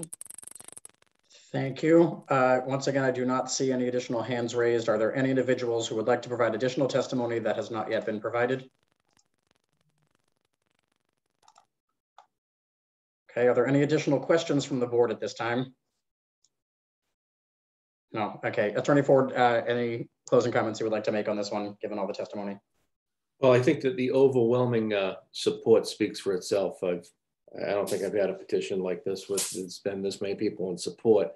Um, I know that there was things that were raised that really aren't before the board from, uh, as the chairwoman said, from a discipline area. But as far as noise, any issues, I know that we haven't received any violations. Uh, we will promptly address that. I will uh, sit down with Mr. Cooper immediately following uh, this hearing to go over things based upon my past experiences as a uh, attorney on uh, on noise, and also suggest that a great point has been raised that this type of uh, service provides for a, a calm lounge like atmosphere. Uh, they have you have a licensee who has a wonderful track record uh, of over I think I heard someone say 55 years uh, responsible. I know Mr. Cooper, his father Clarence Cooper, his mother, uh, they've poured uh, you know all of their time into made this a labor of love, and that's what you have here. And and I would suggest for the people who know this club, the people who've been in this club, the people that you've heard from right here, uh, is overwhelming uh, reason to grant this petition. Uh, if there is any hesitancy, obviously, as the, the this this board well knows, um, a license could be issued uh, with a probationary uh, period, and I think if it did, uh, this this board would be quite pleased with how they would uh, operate during that time. And so with that, we ask you to please uh, grant the petition. Thank you, Attorney Ford. And just for the record, um, uh, the board does not give any additional weight to written versus oral testimony. So if there are folks who would like to provide additional testimony, uh, the record will stay open until the vote. You can do so by emailing licensingboard at boston.gov. With that, the board will take this matter under advisement. Thank you so much. Thank you. We will now be calling item number 14, Delta Airlines, Inc. doing business as Delta Sky Club, located at Logan Airport Terminal A in East Boston. Holder of an airport club all alcohol license has petitioned to amend the description of the licensed business from on the third floor of the satellite building of Terminal A, Gate A17, containing seven rooms, a bar, and 178 seats, to on the third floor of the satellite building of Terminal A, Gate A17, containing nine rooms, a bar, temporary bar, and 193 seats. Attorney Joseph Devlin. Attorney Devlin. Uh, yes, Joe Devlin, partner with Upton, Connell, and Devlin at 112 Water Street, Boston, Massachusetts. I'm sure you're thrilled to hear me back here again with the Delta Airlines. Uh, I think we're still in phase two, although my paralegal has it as phase two and three quarters. Um, but this license was approved with a slightly different description um, which has changed as the construction has gone on. Uh, so I thought it was prudent to come in and, and get that approved. Uh, the prior license application was about 200 square feet less, about 25 seats less, and the occupancy was about 25 uh, people less. Um, and they have a another small temporary bar in there. This is post security, so only people who have gone through security and have tickets uh, and who are Sky Club uh, members can get in here. It's all kind of moot because I think in about a month, month and a half, I'm going to be back before you with an application to approve the final phase, which is adding the two clubs that are together together. Nope, but no other changes to the operations.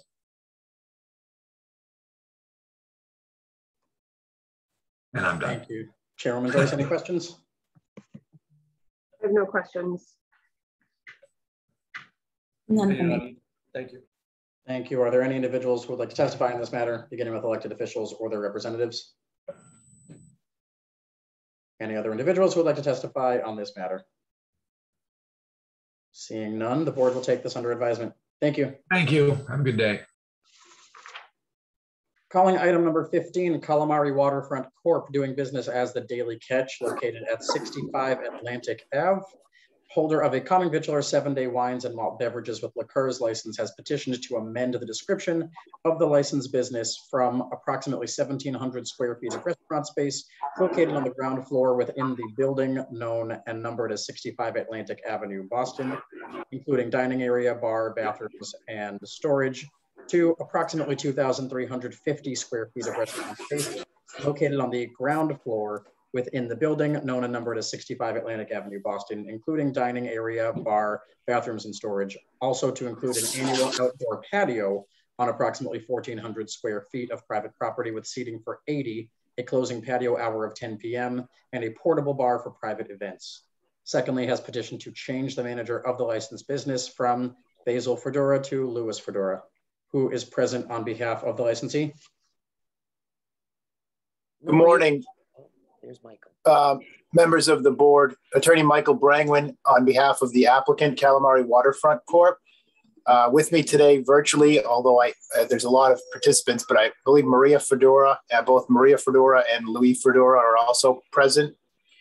Um, the applicant Calamari Waterfront Corp, uh, doing business as the Daily Catch, is applying for an alteration of the existing premise, licensed premises at 65 Atlantic Ave um, and to change the manager as, as just read um, to uh, Louis Fedora from Basil Fedora.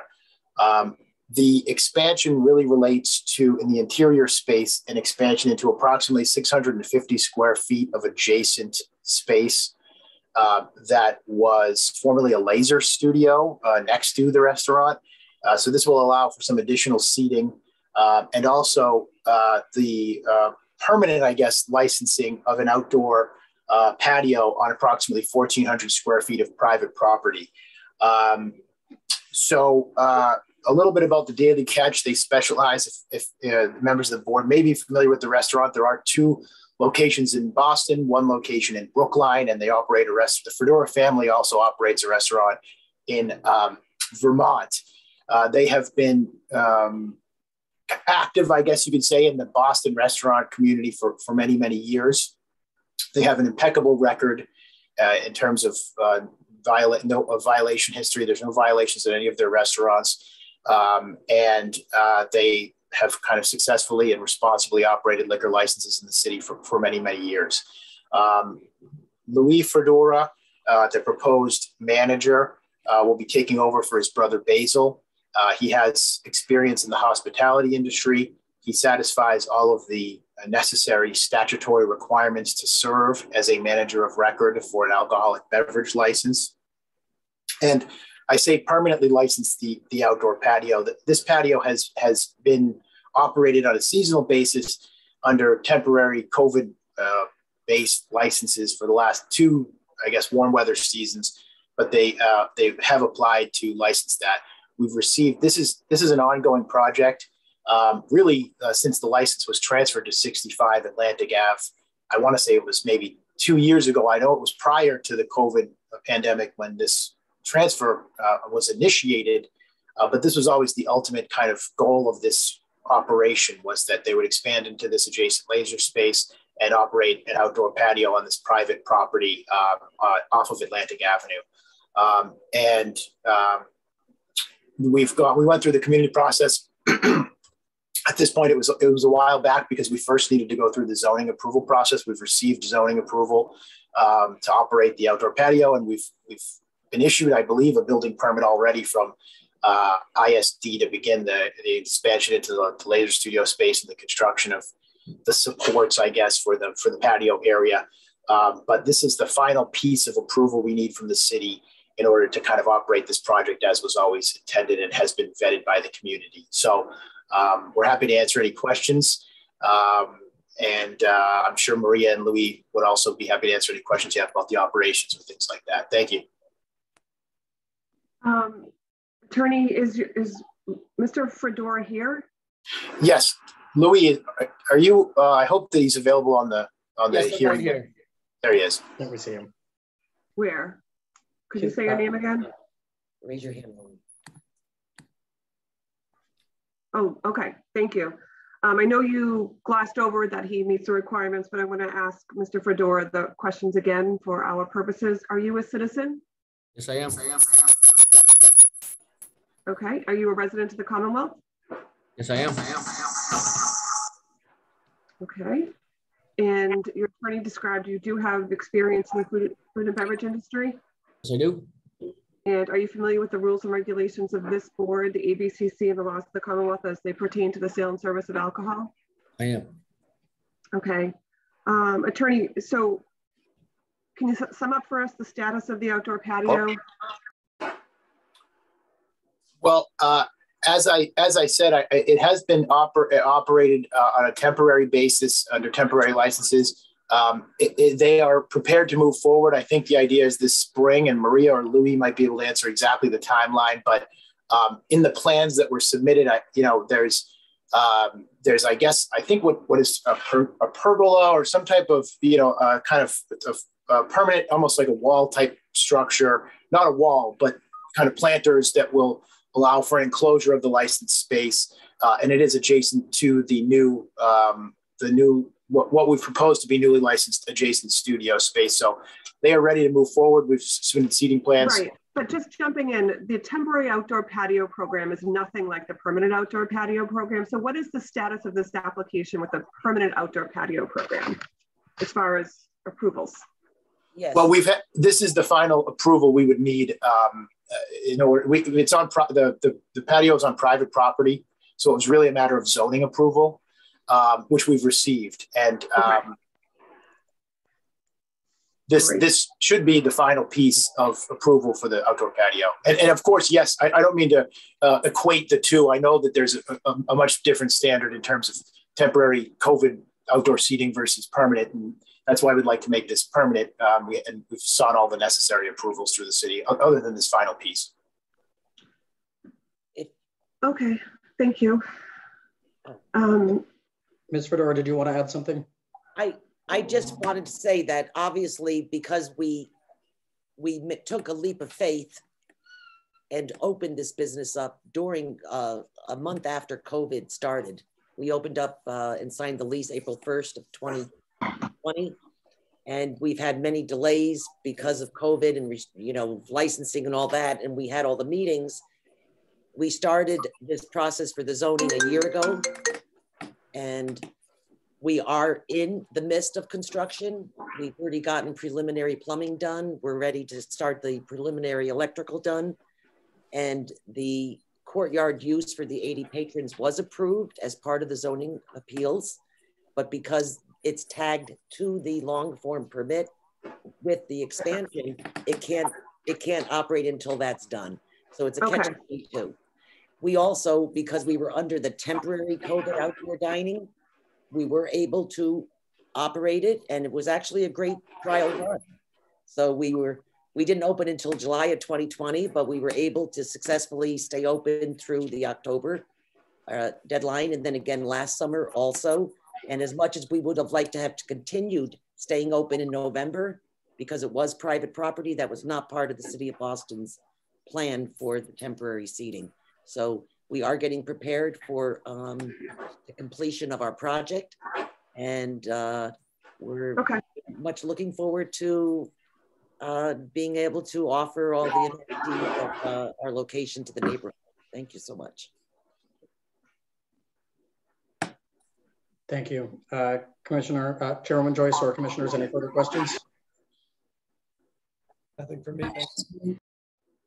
Thank you. Are there any individuals who would like to testify on this matter, beginning with elected officials or their representatives? Madam Chair, members of the board, this is John Romano from the Mayor's Office of Neighborhood Services. Um, I do want to mention that the applicant here had gone through an extensive process, both through the zoning process he's here by attending both the community and also uh, having their own meeting uh, for the project.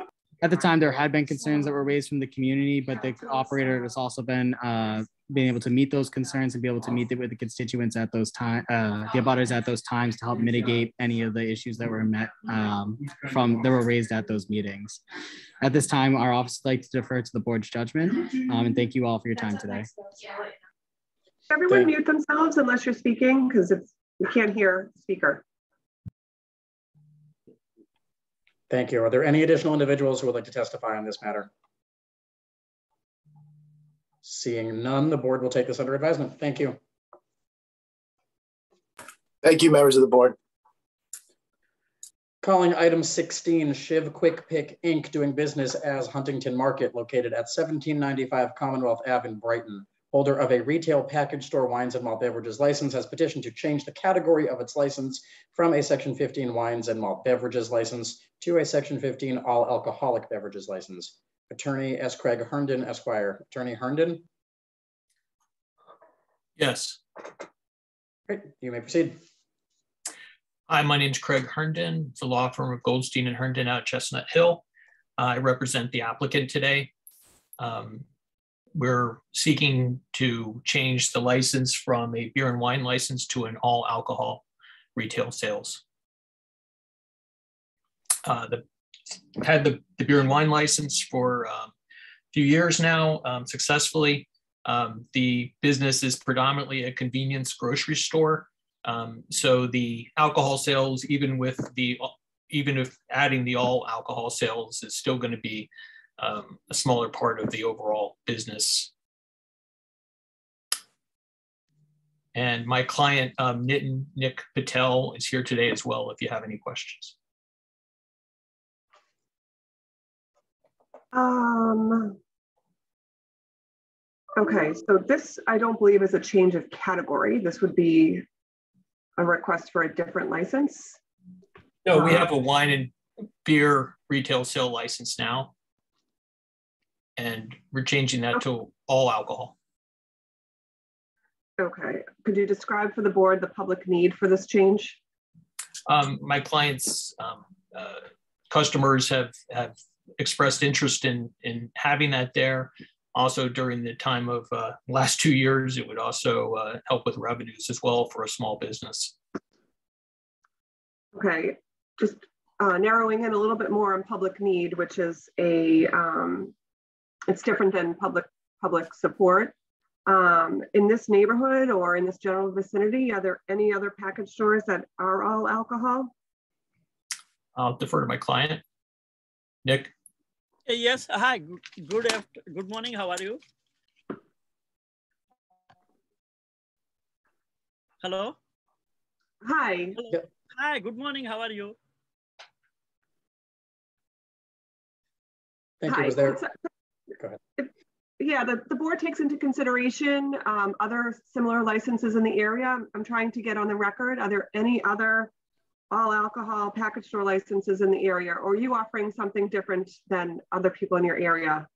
There is a, on, a liquor store is in located on the Bacon Street. It's a different uh, all the way street or more than like a four five black uh, five or different black in a Brookline, and we are in a Brighton close Chestnut Hill Avenue, and uh, my customers are uh, asking for the if you have a liquor license uh, you added up it's very close for us to everything in your store because i have beer and wine license since uh, five years.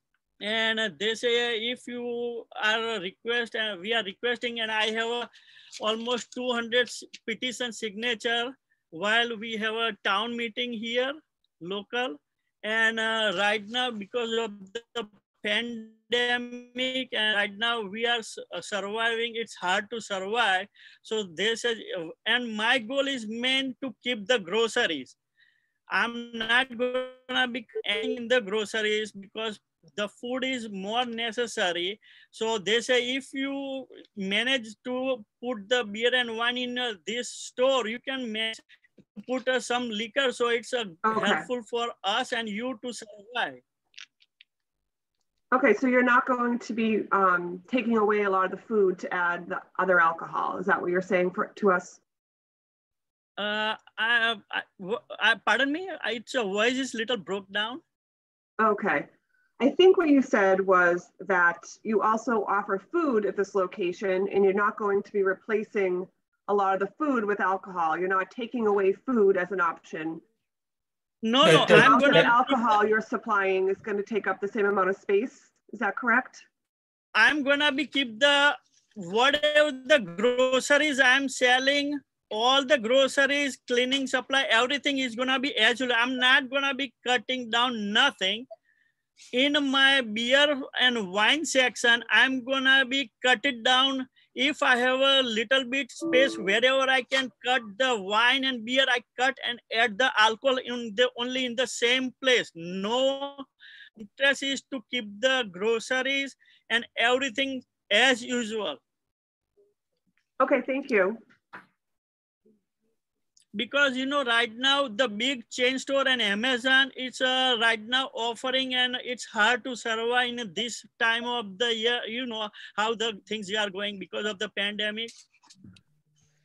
Yep. Yes. Thank you mr patel. Any question further questions from chairman joyce or commissioner curran or saxon? Not at the moment thank you.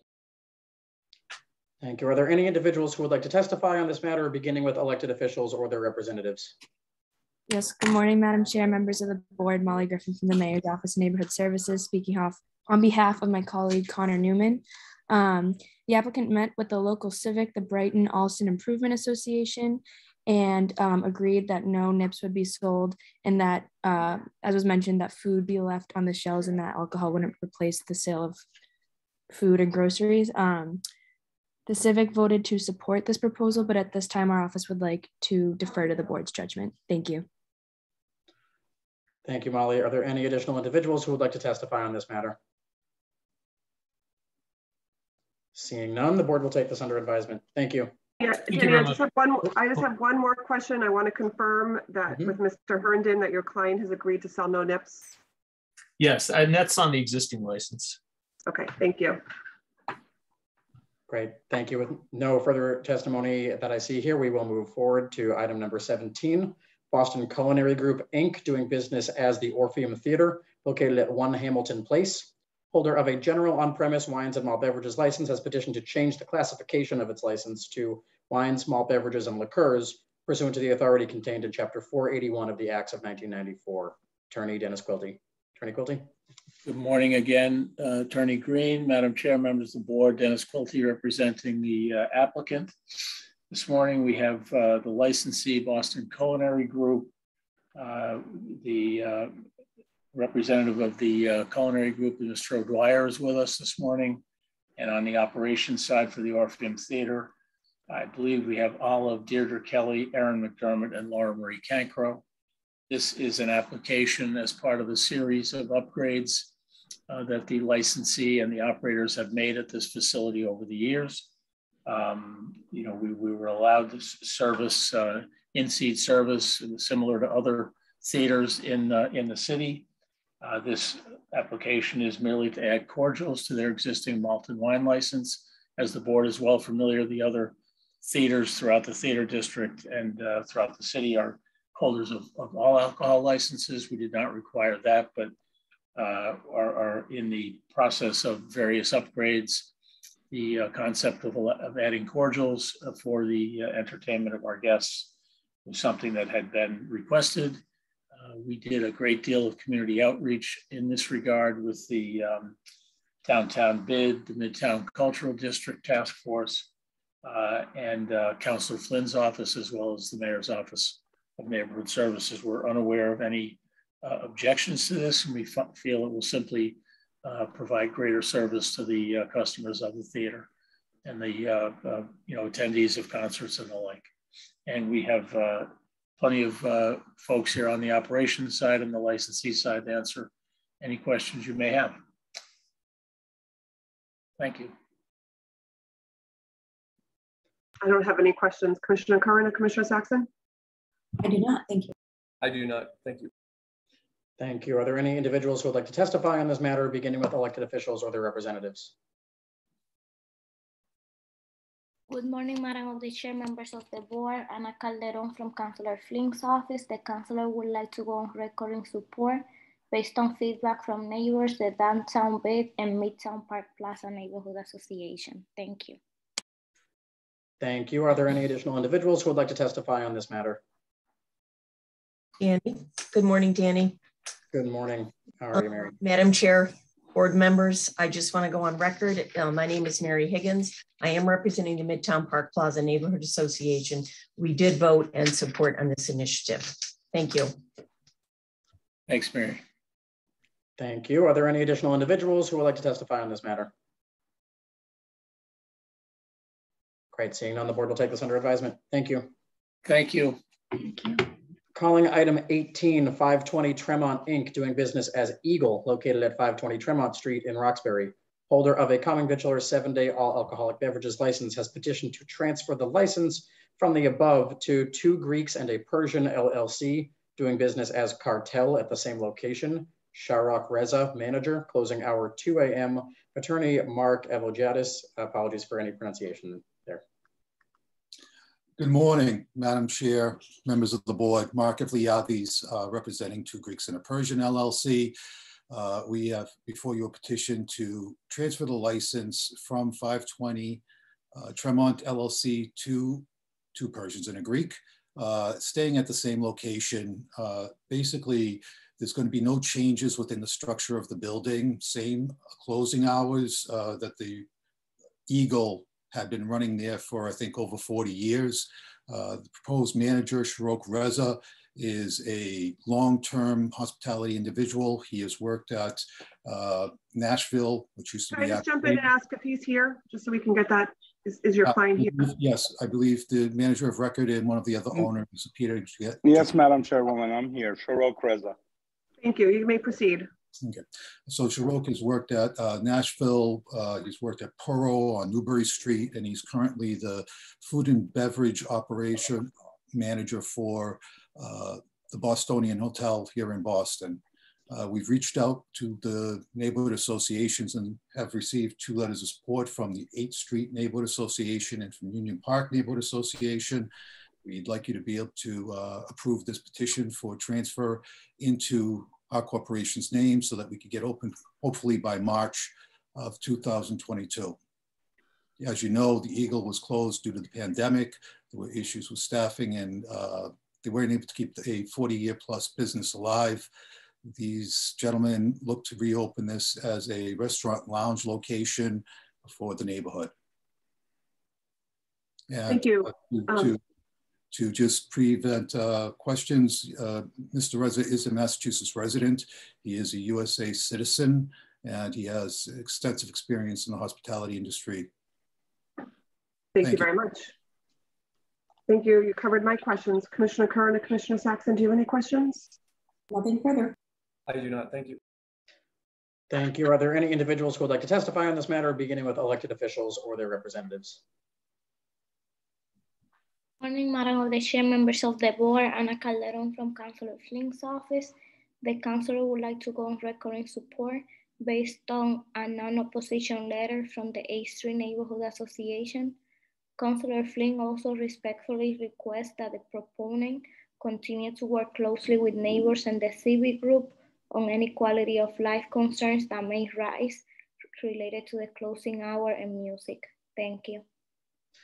Thank you. Are there any other individuals who would like to testify on this matter? Seeing none, the board will take this under advisement. Thank you. Thank you. Thank you, everybody. Appreciate it. Calling item 19, BNV8 Inc., doing business as Certified Meatball Company located at 429 West Broadway in South Boston. Holder of a common victualler seven-day wines and malt beverages with liqueurs license has petitioned to transfer the license from the above to 429 Broadway LLC, doing business as Certified Meatball Company at the same location. Eric Allenback, manager, 1 a.m. closing hour, attorney Nick Zazula. Attorney Zazula? Uh, hey, Secretary Green, Attorney Joe Hanley here. Can you hear me? I can. Sorry about that. Please proceed. Excellent. That's okay. Um, uh, anyway, uh, just to introduce myself, um, Madam Chair, members of the board, Secretary Green, Attorney Joe Hanley, McDermott, Quilty and Miller, 28 State Street in Boston, representing uh, the transferee, uh, 429 Broadway LLC. Uh, with me is Eric Allenback, uh, who is a 50% owner of the LLC. Also with me is Mike Conlon, who's a 50% owner, and as well as chef uh, Nick Dixon, who is also um, with me. Uh, we are proposing, uh, just to give you a little quick background, um, the existing site, this is the former operations of the Certified Meatball uh, Company uh, that operated with a beer and wine and cordials on-premise license issued by this board premise has been vacant for a little while, but the license is current. so that you're in more? Um, my client is proposing um, a corp to corp transfer with no changes to uh, the existing license or the license premises. Uh, will be a different uh, concept, uh, and we would be returning with a DBA change uh, at a later point for that. Um, as this board knows, Mr. Colin, Conlon and Mr. Allenbeck uh, have um, deep experience and a very good reputation as uh, good operators, especially in South Boston, uh, with a series of um, establishments immediately next door. Uh, this vacant space presents a detraction to the neighborhood, and we think that there is a need for a, a diner concept. Um, if you know anything about South Boston and the lower end, uh, we have Lost Malls. Um, Amrhein's has been approved to be a new development. And so there is a need for a different type of uh, uh, neighborhood diner concept that would serve uh, breakfast, lunch, and dinner uh, for casual dining. And Nick Ditson, who has been the uh, chef for the Broadway Restaurant Group at Capo and Lincoln next door for 10 years, will be launching uh, that program. The license now uh, space is approximately 2,000 square feet. Obviously, that remains. Um, 44 seats and an occupancy of 60. Um, the work, uh, there's a very nice build out that was done. So the work is mostly cosmetic, some furniture, um, some fixtures, but essentially the floor plan uh, remaining the same. And we've submitted that floor plan uh, to the board. There's a 1 a.m. closing hour, which we are not looking to change. We will be serving food up until uh, midnight, and this is a small, intimate space that is intended uh, to have some casual dining in the evening hours. Again, different than what might be available in the immediate area. As for the transaction, uh, this is an asset purchase, 700,000 for the business in the assets, which includes the beer and wine and cordials license, as well as a um, assignment of the lease. The lease uh, term runs until 2031. Um, I believe you have Mr. Allenback as the manager of record and not Mr. Dixon, just to confirm that. Um, in any case, they're both on. Mr. Allenback is, um, yep, very experienced, will answer your questions. Uh, and um, the last thing I will say, I'd like to, to thank uh, the mayor's office and Cityside Neighborhood Group uh, for um, also participating in this. We had a very good abutters meeting, and I think there's strong recognition and support uh, for the concept, and also, more importantly, Madam Chair, for your decision, the character and fitness of this operator and its experience in this neighborhood. So thank you. Thank you. I don't have any questions. Commissioner Curran or Commissioner Saxon? Nothing for me, thank you. Great, thank you. Are there any individuals who would like to testify on this matter, beginning with elected officials or their representatives?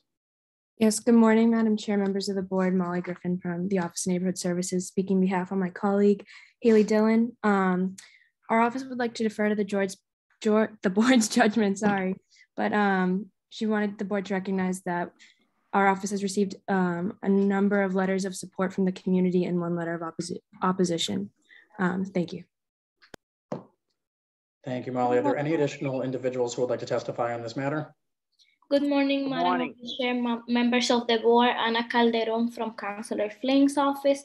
The councillor would like to go on record in support. Thank you. Thank you. Are there any additional individuals who would like to testify on this matter? I see a hand raised by Lisa. My name is William Fitzmaurice. I live at 293 Silver Street. I've lived there for over 40 years. Eric and Mike run excellent establishments. Both Capo and Lincoln are directly back of my house. Any concerns that the neighbors have had, they've been addressed, and I'm in full support of the transfer of the license. Thank you very much for that. Uh, I see a hand raised by Lisa Pep. You may unmute yourself and go ahead. Hi, yes, I'm Lisa Pop. I live at 277 Silver Street, directly behind uh, the Lincoln. I've lived there for 12 years, and uh, uh, Mike and his partners have been uh, good uh, neighbors and uh, respectful, considering. Um, so I fully support the project. Thank you for that. Are there any additional individuals who would like to testify on this matter? Great, the board will take this under advisement. Thank you. Do you want, uh, just if I may, uh, mister Mhm. Green, do you need to uh, query uh, the manager of record on your standard questions, Madam Chair? I may have assumed that Mr. Allenbach was already approved by this board. Correct. Are you already approved by this board? So we don't need to, um, Yes, ma'am. Thank you Yeah, very yeah. much. Sorry for the, just wanted to clarify.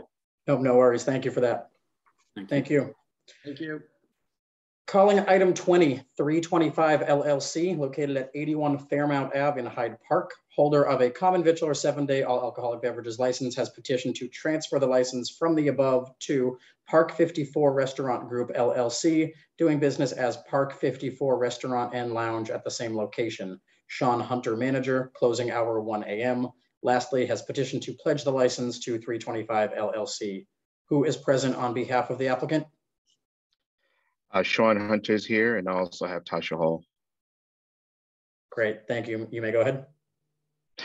Uh, yeah, we're looking to execute a transfer for the uh, common victualler license. Um, no changes are being made as far as the floor plan. Uh, just like uh, cosmetic work is being done. Um, I will be the, uh, the, the, the manager on record. Uh, I do come with uh, two decades of experience. I do live in the Commonwealth kitchen and I am a citizen. Um, any other questions you guys may have for us? thank you, Mr. Hunter, for uh, covering this manager record questions. Just one final question. Are you familiar with the rules and regulations of this board, the ABCC and the laws of the Commonwealth as they pertain to the sale and service of alcohol? Absolutely been for the last four years. Oh, okay. Um, so is the, did you say the concept is going to be the same? No, the concept is not going to be the same. We're going to be more restaurant lounge. Um, the foods concept going to be a little different, but as far as the floor plan, uh, all those things are staying the same. Okay. I'm going to ask Commissioner Curran or Commissioner Saxon if they have any questions for this applicant. No additional. I do not. Thank you. Thank you. Are there any individuals who would like to testify on this matter, beginning with elected officials or their representatives? Hi, Councilor uh, at Large Ruthzee Louijeune here, uh, testifying um, in support of this liquor transfer. We're really excited in Hyde Park. I'm also a Hyde Park resident. We're really excited to be welcoming, welcoming Park 54 pretty soon. That pays homage to important history um, in our city, particularly with um, African Americans serving um, in, at, in war. We need more gathering spots in Hyde Park. Uh, so we are really excited to have Park 54. Uh, we had uh, another establishment there and, and there has been a real void. So we're really excited to have folks committed to Hyde Park who live in Hyde Park, uh, a restaurant lounge run by folks of color. So I am fully in support of this transfer and cannot wait to uh, be a patron. Thank you. Thank you, Counselor. Uh, I see Counselor Arroyo's office is also present with a hand raised. Uh, Uh, good up morning, Chair, members of the board. Jordan Frias here from Councilor Arroyo's office. We just want to go on record in support of this. Thank you. Thank you. Uh, any other uh, elected officials or their representatives who would like to testify on this matter before we open for general testimony? Good afternoon, Madam Chair, members of the board. This is Danielle Fonseca with the Mayor's Office of Neighborhood Services. The applicants completed the community process, notifying abutters in the appropriate civic association, and a community meeting was hosted by our office on October 18th, where several abutters and community members that were in attendance voiced their um, excuse me, voiced their support and interest for the restaurant. In addition, the applicants went beyond our office's requirements for notifying the community, and they presented their proposal to various various neighborhood groups and community stakeholders, including the Hyde Park Main Streets and the Hyde Park Board of Trades. Our office has received no letters of opposition and several letters of support from residents of the community and civic associations. And this includes the Hyde Park Central River Neighborhood Group, the West Fairmount, um, excuse me, the West Fairmount Hill Community Group, and the Belknap Hill um, excuse me, the Belknap Family Neighborhood Association. Um, many highlighted the need for more Black and Brown businesses in our community, the diversity it will bring to the district, and how this restaurant uh, will bring more culture to the area and paying homage and uh, to the historical um, honoring of the 54th Regiment. At this time, our office would like to defer judgment to the board. Thank you. Thank you. Uh, we will now open up for general testimony in the order that it was received. Kelly Bates, you did message me earlier, so please unmute yourself. Thank you. Yes, I'm here in support of Park 54. I serve on the Ward 18 Democratic Committee and also am an active member of the West uh, Fairmount Neighborhood Hill Association and ran for city council at large. This is exactly the kind of business that we should have in the city and in Hyde Park and I'm offering my full support. And as you can see today, there is much support and um, hope you'll take that into consideration and expedite it as soon as possible. Thank you. Thank you. The next hand I see raised is from Tito Jackson. Mr. Jackson, you can unmute yourself. Thank you very much. Uh, I want to uh, thank uh, the chair as well as the board for this opportunity uh, to address you today.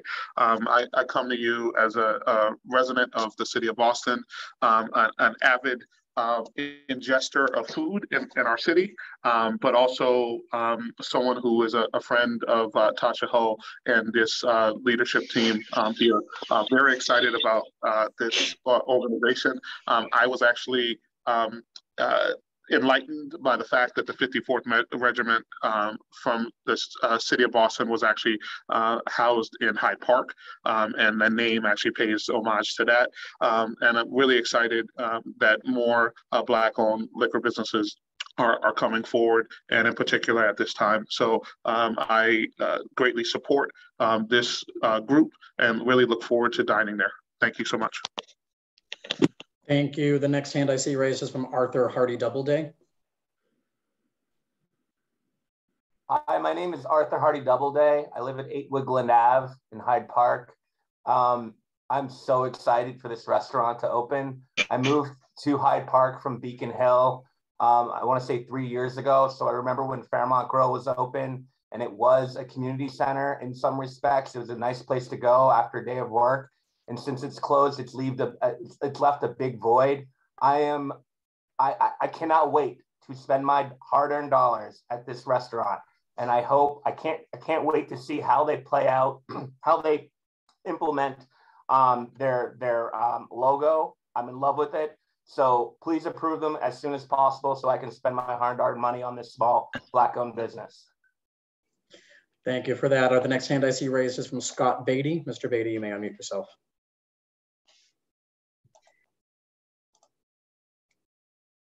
Sorry about that. Uh, good afternoon, Madam Chairman and members of the board. Um, my name is Scott Beatty, local Hyde Park resident of 31 years, uh, serve on uh, three local uh, voluntary boards in Hyde Park.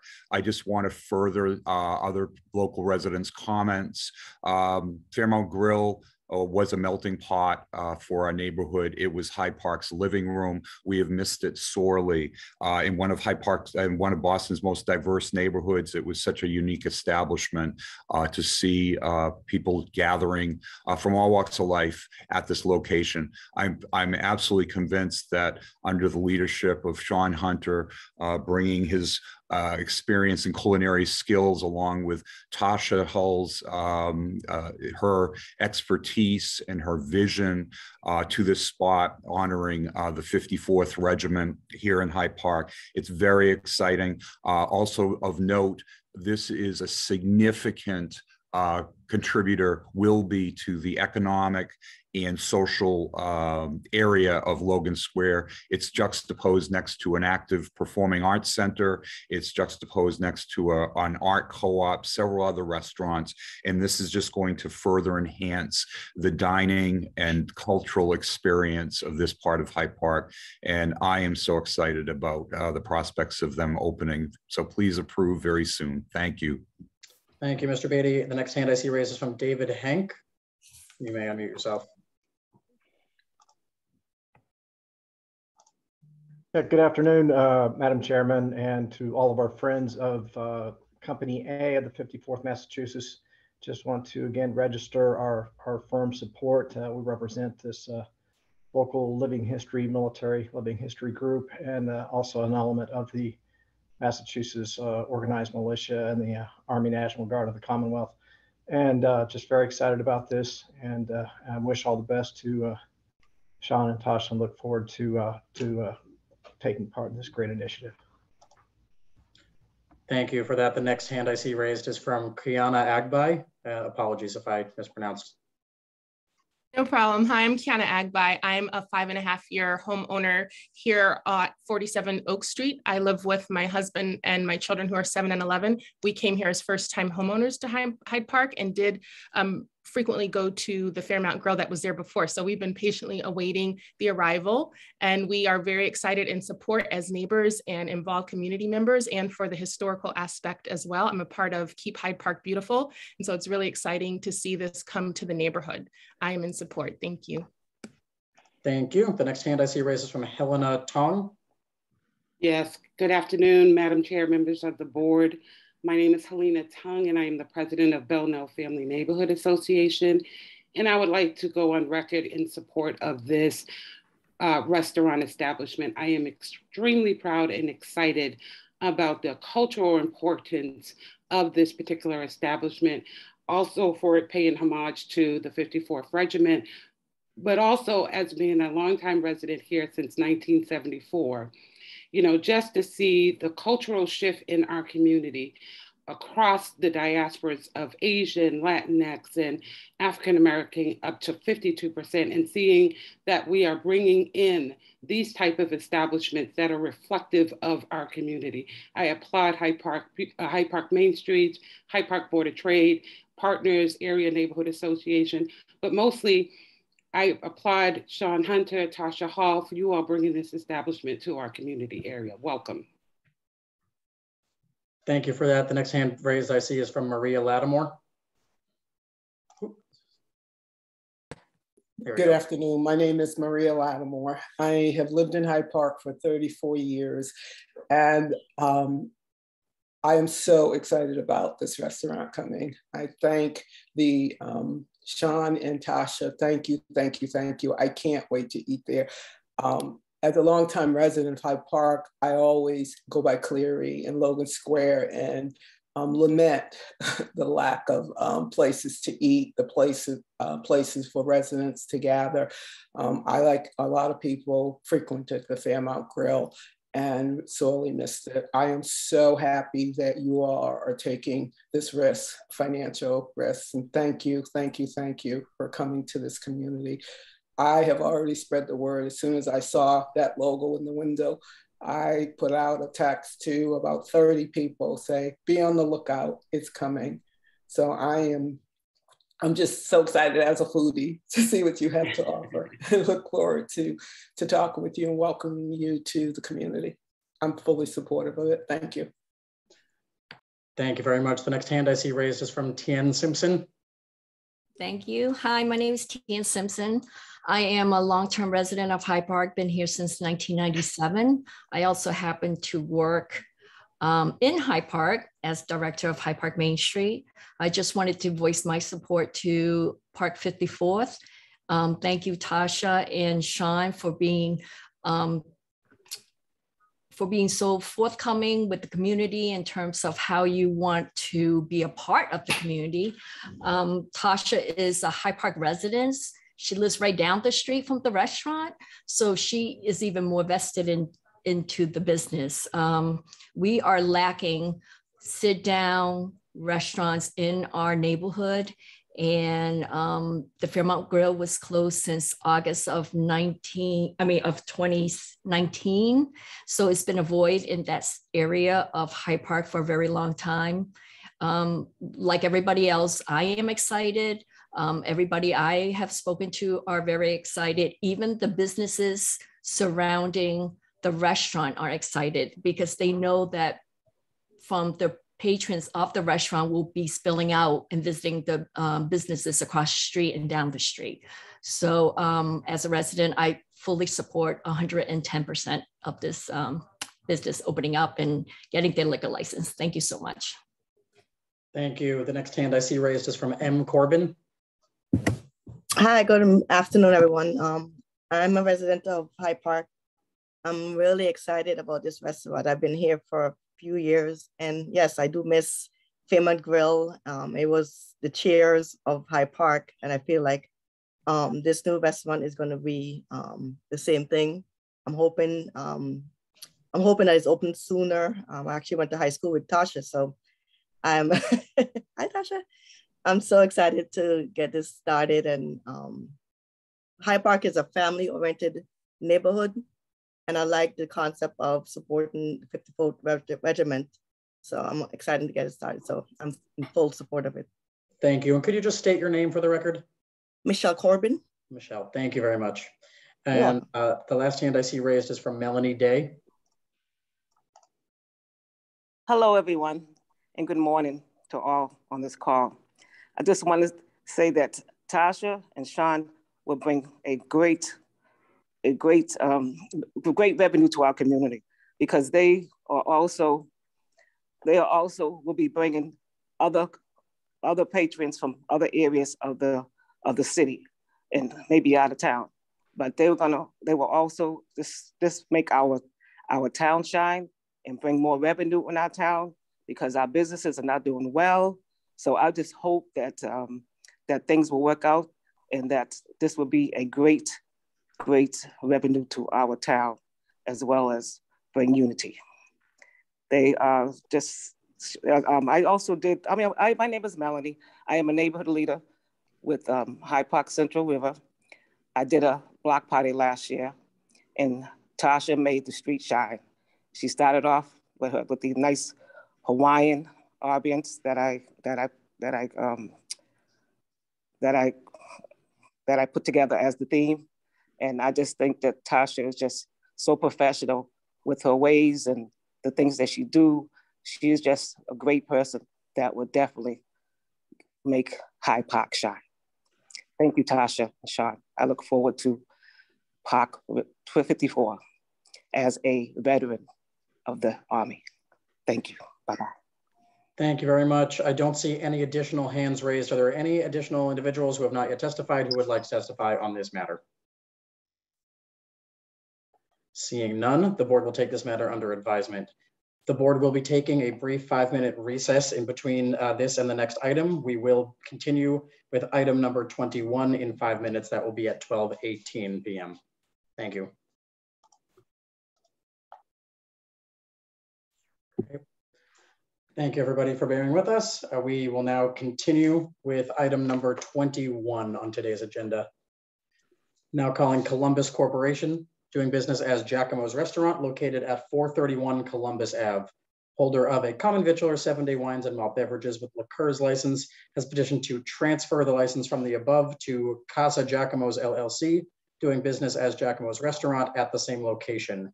Irakli Gogatidze, manager, 11.30 p.m. closing hour. Secondly, has petitioned to pledge the license and inventory to Eagle Bank.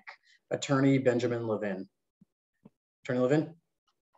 Good afternoon, everybody. Thank you for the time today. Um, is here with me to answer any questions that you may have as well. Uh, this is a transfer of, of, an existing license. The establishment at Giacomo's has been in existence for a long time. Uh, our clients are operators in the neighborhood, operators in the city. Irakli has a, a, vast amount of experience operating similar establishments and will operate this at a similar capacity. Um, there is a, a, pledge of the license to Eagle Bank as there will be a loan as part of this. And the establishment in and of itself will stay remarkably the same. There'll be some minor updating, but largely operated in the same capacity it has been for a long time. Attorney, is your client here, the manager of record? Yes, he is. Could he put his camera on, please? I believe it is. Good afternoon, all.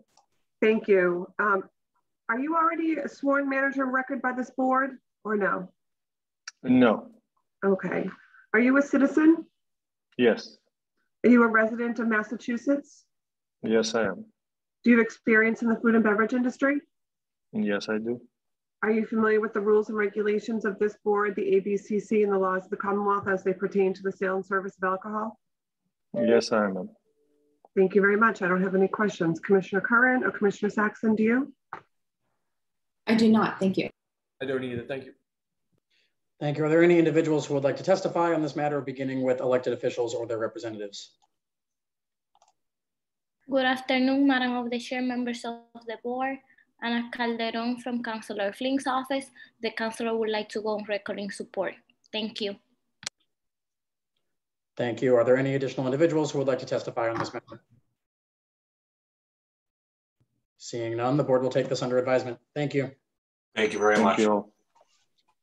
Calling item 22, Donna Temple LLC, doing business as Stoddard's Fine Food and Ale located at 48 to 50 Temple Place holder of a common victualler seven-day all alcoholic beverages license has petitioned to transfer the license and the location from the above to Reelhouse Oyster Bar Seaport LLC, doing business as Reelhouse Oyster Bar located at 10 Waterside Drive, Boston. Premise consisting of approximately 1,857 square feet on ground floor in one main room with bar area, bar dining area, and chef bar, kitchen, storage, and restrooms located to left of bar and dining areas. Main entrance located on end of pier with one additional entrance exit to right of bar and dining area, and one additional entrance exit located at rear off bar and dining area three annual outdoor patios consisting of approximately 1,058 square feet located on private property, same hours. Additionally, applicant seeks to remove existing conditions on prior licensee. Thomas Baird Ferguson, manager, closing hour 1 a.m. Attorney William Burke. Attorney Burke. Good day, Mr. Green, and good afternoon to uh, the chair and the commissioners. Um, I'm representing uh, the Reelhouse Oyster. On the line with me are Charlie Larner, who is a principal, and uh, as well as Tommy Ferguson, who is our proposed manager of record. Mr. Ferguson is a U.S. citizen, Massachusetts resident, has significant experience in the restaurant industry and is familiar with the laws of the Commonwealth as well as with the rules and regulations of the board and the ABCC.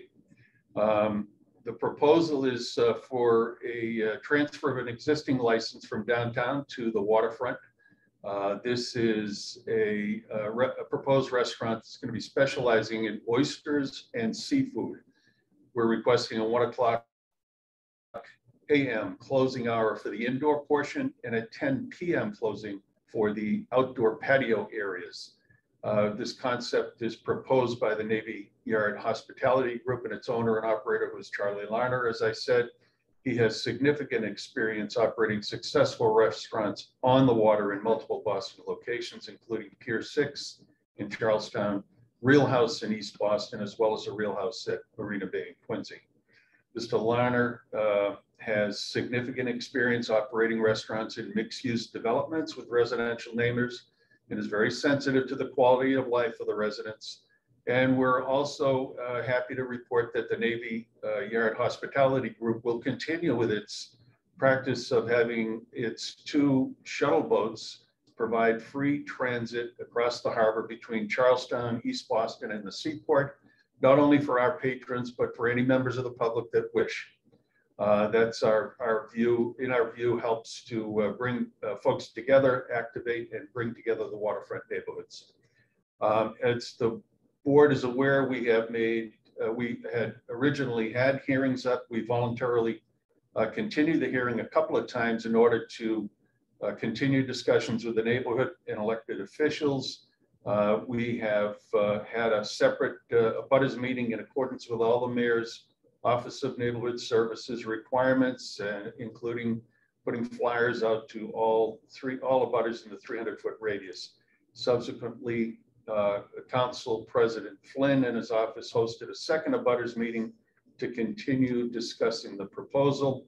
We've worked with uh, closely with Council President Flynn, the Mayor's Office of Neighborhood Development Services, and the abutters, as well as the Fort, Fort Point Neighborhood Association to develop the proposal and, and address concerns. We respectfully submit there's a public need for the license in this location and specifically for this type of concept. Uh, the seaport has seen a, a, large rise in residential population, and we hope to get back to a point where they're going to have a lot more workers coming in, uh, and as well has had increase in businesses in the area. This uh, significant increase demonstrates a need for uh, additional licenses for the public to use. Uh, the concept is one of a small restaurant for oysters and seafood. It's not a big steakhouse. It's not a big seafood place. It's really kind of unique. And, and we think it would fit in nicely and serve as a hub for communications between all the residents and employees in the area. It's a locally owned restaurant, and, uh, and we believe that uh, uh, near the end of the uh, pandemic, as I said, we'll see more folks coming back into their offices, being able to, uh, to utilize the, the uh, premises. Finally, given Mr. Larner's demonstrated experience in successfully operating neighborhood restaurants in Boston, there's no question as to the character and fitness of the applicant here. We understand that the Fort Point Channel Neighborhood Association has concern about Chapter 91 and our ability to utilize the outdoor space, given the proximity to the uh, Harbor Walk. Uh, this applicant has worked closely with the owner of the property to ensure compliance with Chapter 91. We will submit to the board a copy of the waterway license number 11907 between the Department of Environmental Protection and the property owner. Special condition 26 of that states specifically that it does not prohibit use of outdoor open spaces for outdoor seating proximate to restaurants, provided they don't obstruct public passages. This public, uh, uh, this allows for any enclosure uh, as well of the same, as long as it doesn't unreasonably interfere with public pedestrian use of the remainder uh, of the sidewalks, plazas, and other exterior spaces. The architect we have uh, has prepared the proposed layout of the patio to ensure compliance with the requirements of the agreement and to ensure the general public continues to have access to the harbor walk. We will continue working with the property owner and the DEP to ensure compliance and access, but respectfully submitted, it's not the place of the Fort Point Neighborhood Association, no matter how well intended, to interpret or enforce Chapter 91. And further, while we appreciate the collaboration with the Fort Point Neighborhood Association, this location is in the seaport, not Fort Point Channel, and is not actually within the, the, that association's jurisdiction. The applicant will again continue to work with the property owner and the DEP to ensure compliance. That will be something that will occur after, we hope, the issuance of, uh, of uh, your permission for this transfer that we propose. Doing it otherwise, putting it to the, uh, to the DEP is putting the cart before the horse. Um, uh, we have uh, in this uh, proposal, we propose we're going to have entertainment, which will be non-live background music, both indoors and outdoors. Patio background music is going to cease at 10 p.m. Patio background music will adhere to the city's will adhere to the city's 70 decibel level. Uh, storage of, tra of trash and trash issues are, again, as I understand, a concern of the uh, FPNA. Uh, trash will be transported on a daily basis from the licensed premises to the 50 Liberty condominium in airtight, rodent-proof and insect-proof containers. Trash will be transported to the designated space on a daily basis and will be part of the existing trash pickup service at 450 Liberty condominiums. Trash will not be stored outside the licensed premises.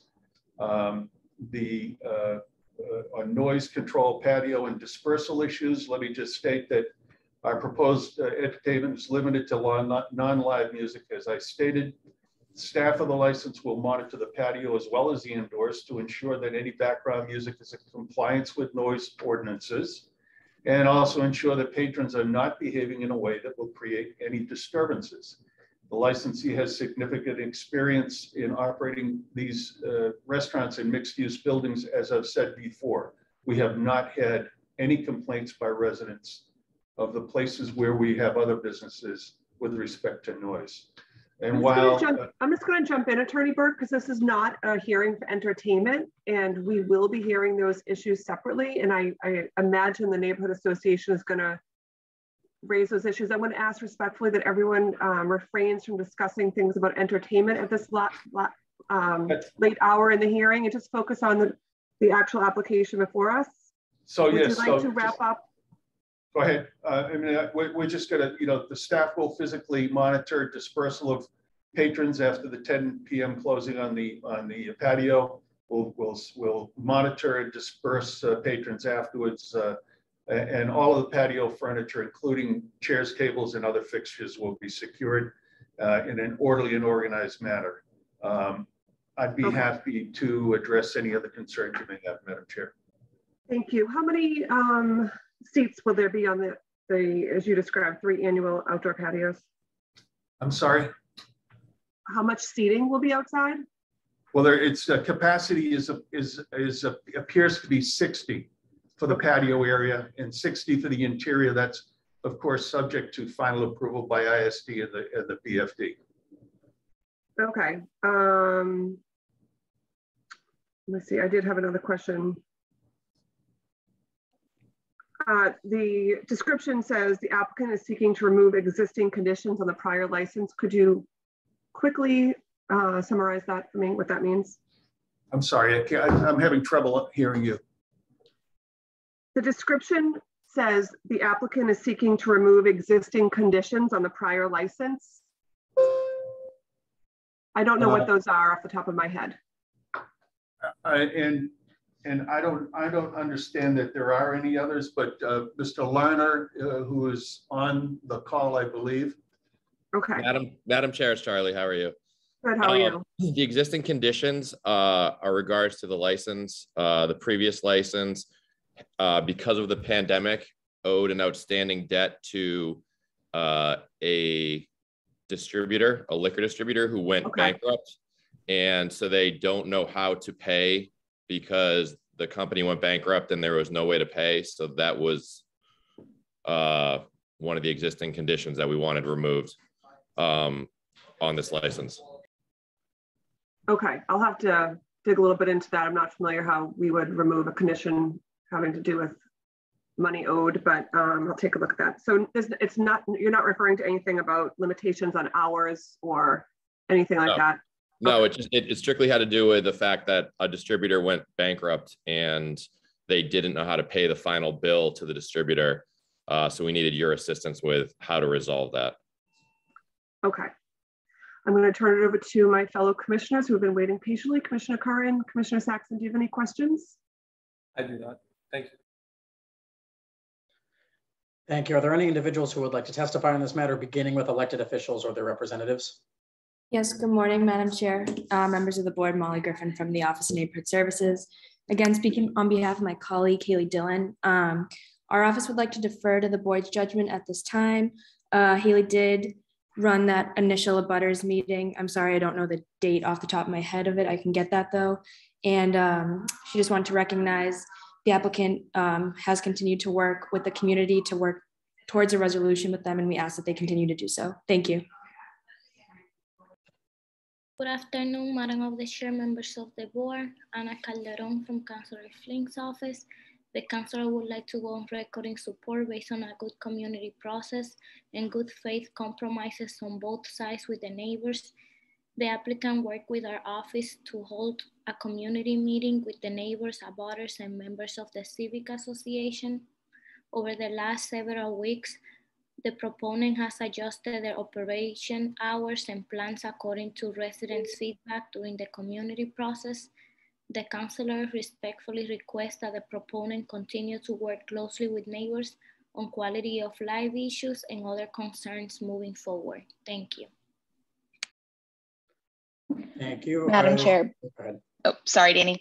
Uh, Madam Chair, members of the board, Alicia Payne here on behalf of Councillor Flaherty, uh, wishing to go on record in support as well, and just want to echo uh, the remarks of Councillor Flynn's office. Thank you. Thank you. Are there additional elected officials or their representatives who would like to testify before we open for general testimony? Great. I do see a hand raised from Tom Reddy. Hey, thanks, Mr. Green. Uh, Tom Reddy, uh, I'm a resident uh, on Wormwood Street and a member of FPNA, the Neighborhood Association, recognized by the city that uh, covers the South Boston waterfront. Uh, we, we appreciate the applicant's um, flexibility in meeting multiple times um, with our neighbors and making adjustments to their operating plan, and we're in full support of them opening uh, and operating inside. Um, the property, as stated, is under the jur jurisdiction of the Chapter 91 Public Waterways Act. We do believe there's discrepancies with the existing license. Uh, the Mass DEP um, uh, chairman actually attended the chief, um, sorry, the Mass DEP Waterways chief actually attended the last abutters meeting uh, and made comments to the effect, to the point that uh, he believes uh, they need to apply to his office uh, so that those discrepancies uh, can be sorted out. We would therefore request that the um, that the that the board would defer the licensing decision on the outside operations until that Chapter 91 process completes. Thank you. Thank you. Are there any additional individuals who would like to testify on this matter? Seeing none, the board will take this under advisement. Thank you. I'm sorry, I'm sorry, I wasn't able to get my hand up in time. This is Norm Lind. No worries, go ahead. Thank you very much. I appreciate the time. Um, my name is Norm Lind. I'm resident at uh, 50 Liberty Drive. I am the president of the Board of Trustees at 50 Liberty Drive. Um, we greatly appreciate the work that uh, Charlie has done with us in trying to resolve some of the issues that we had. Um, the very first abutters meeting we had was rather confusing because nobody was running it except for the attorney uh, that was uh, that was representing the uh, the applicant. Uh, we were greatly appreciated uh, Councillor Flynn stepping in, doing a second abutters meeting for us, which was uh, which was uh, very good, and that um, the um, applicant was well prepared for. We do agree completely with uh, what Tom Reddy is saying, totally in support of his letter and his comments. That um, we approve, we uh, appreciate them working with us. We like the one uh, AM close indoor, the 10 PM close outdoor. We believe there are questions as far as where the outdoor seating should be. And as Tom said, um, the representative DEP was at the meeting and uh, expressed an interest in having further discussions about that. Um, as far as garbage goes, the storage of 50 Liberty, uh, that's an ongoing issue that we'll continue to discuss, but it should not be a problem in any way. Um, and we are in support of the overall project with the reservations that, uh, that Tom raised. And we feel that Tom did a nice job of representing our neighborhood as well as, uh, as his. Uh, in the discussions, we're very closely with him and we appreciate the help from everybody involved. Thank you. Thank you. Are there any other individuals who would like to provide additional testimony on this matter? Seeing none, the board will take this under advisement. Thank you. Thank you, Mr. Gray. Item number 23 has been withdrawn by the applicant. Now calling item 24, A and R Variety Store, Inc., doing business as Roslindale Variety Store located at 4254 Washington Street, has applied for a retail package store wines and malt beverages license to be exercised on the above in one room on first floor with entrance in front and emergency exit in rear, consisting of 1,000 square feet, storage in basement. Manager Anderson Diaz, closing time 11 p.m. Attorney Carolyn Conway. Attorney Conway. Good afternoon, members of the board and also Attorney Green. Uh, with me today is Anderson Diaz, who is the sole owner of A&R Variety Inc. and is also the proposed manager of record. To give you a little background, uh, Mr. Diaz, uh, four, seven years ago, uh, started the Roslindale Barbershop and two years ago, uh, which basically became a, a local gathering place and he had the um, opportunity to purchase uh, a kind of failing convenience store next door in October of 2020. Uh, he has done everything he can to, um, he's upgraded the store. And again, the store has also turned into a, uh, a, com- a community place where if you need somebody to, uh, you know, tile your bathroom, that this is the place to go get it. He's arranged for people, people to work at the parking garage and many members of the community have requested that he get beer and wine um, in the convenience store. As you can tell from the, the floor plan that you have, the beer and wine we're proposing will take up between 10 to 15% of the store. This is something that we've been working on for many, many months. We talked to people in the community, what they wanted, what exactly needed to be done. And this is what the community has asked us to do.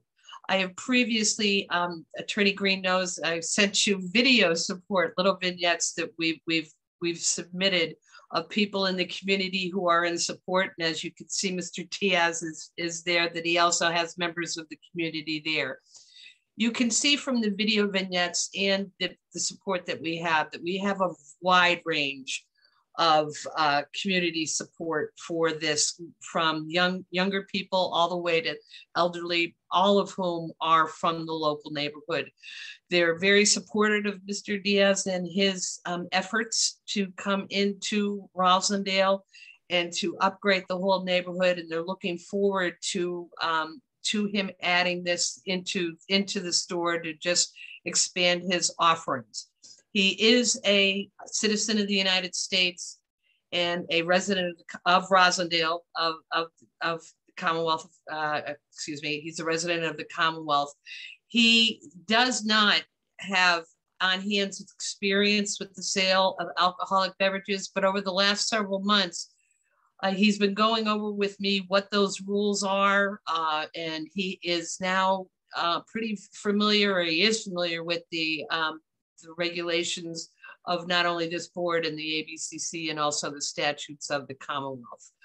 Um, he, he does have several on, people. Is your client here? Oh, he is. I, I, can see I him. But we don't know who he is. So could you Anderson, raise your hand, please. Anderson, can you raise your hand? Up. If he speaks up, he'll come up on the screen. Yep, Anderson, you need to, there, there he is. He, he just Thank raised you. his hand. Gotcha. Okay, you can continue. Okay, well, as I said, we, we've we we've gone through exactly what we believe that the neighborhood wants and needs in this area. There are there is not a, a store uh, nearby that serves alcoholic beverages, and as I said, we're looking to just take over 10 to 15 percent of the store to put the beer and wine in, so that we can serve the public need that's there. Um, Mr. Anderson has his, his, hands raised and I'll, I'll let him I'll let him speak for himself. As I said, I know he has customers there and we have also submitted a lot of support in the form of these little video vignettes.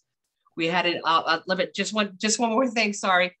Um, we, we have had, we had, a, you know, an extensive uh, butters meeting and the butter, uh, we had a lot of support during that. And we believe that, as I said, this is just the ongoing upgrade in Roslindale and Mr. Diaz is an important part of it.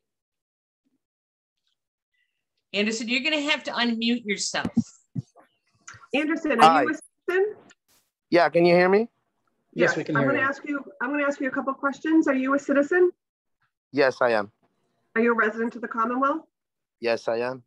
And do you have experience in the food and beverage industry? Um, not, not really. Okay. Um, your attorney did describe um, how you're familiarizing yourself with the rules and regulations of the board and the ABCC and the laws of the Commonwealth as they pertain to the sale and service of alcohol. Um, yeah. Have you been operating the store for a while? Yeah, for I would say 15 months since October 20, 2020. Okay. Okay. Um, is there anything you would like to add? Otherwise, I'm going to ask my fellow um, commissioners um, she, questions. She pretty much, yeah, she pretty much she said everything. Okay. Like you know, it's okay. and you have the yeah, and you have the videos of support, right? Yes. Yes, we received yeah, the videos. It's like, been added to the file and shared with with the board. Yeah, th yeah, thank you. I had like 15, like around 15 to 17 people earlier here. They were here earlier waiting for, you know, but it Right. unfortunately it took you guys a little bit too long. It's like two good. hours because they were ready for ten o'clock, so I only have like probably like six of them. Oh, that's great. I, we see Yeah. them there. That's unique and I love that. Yeah, and Um, most of them, most of them don't know how to use this, you know, new thing like Zoom and stuff. You know, how- like that that was on channel two. yeah, you, you want to say something? Could I make Okay, a, before- before we get to them, before we get to them, I just want to ask the commissioners, do they have any questions for the attorney or the, um, or Mr. Diaz? I don't have any questions. Thank you. Okay, we, and we appreciate everyone who's there in support of you. If they would just like to give their name for the record and yes, state that they're in support, we could, my name's Paul Buckley. Uh, I've lived here all my life. I'm 62 years old. And these are good people and they're bringing back the old mom and pop stores. And I hope you help them out. thank you. Thank you. Yep. Thank you.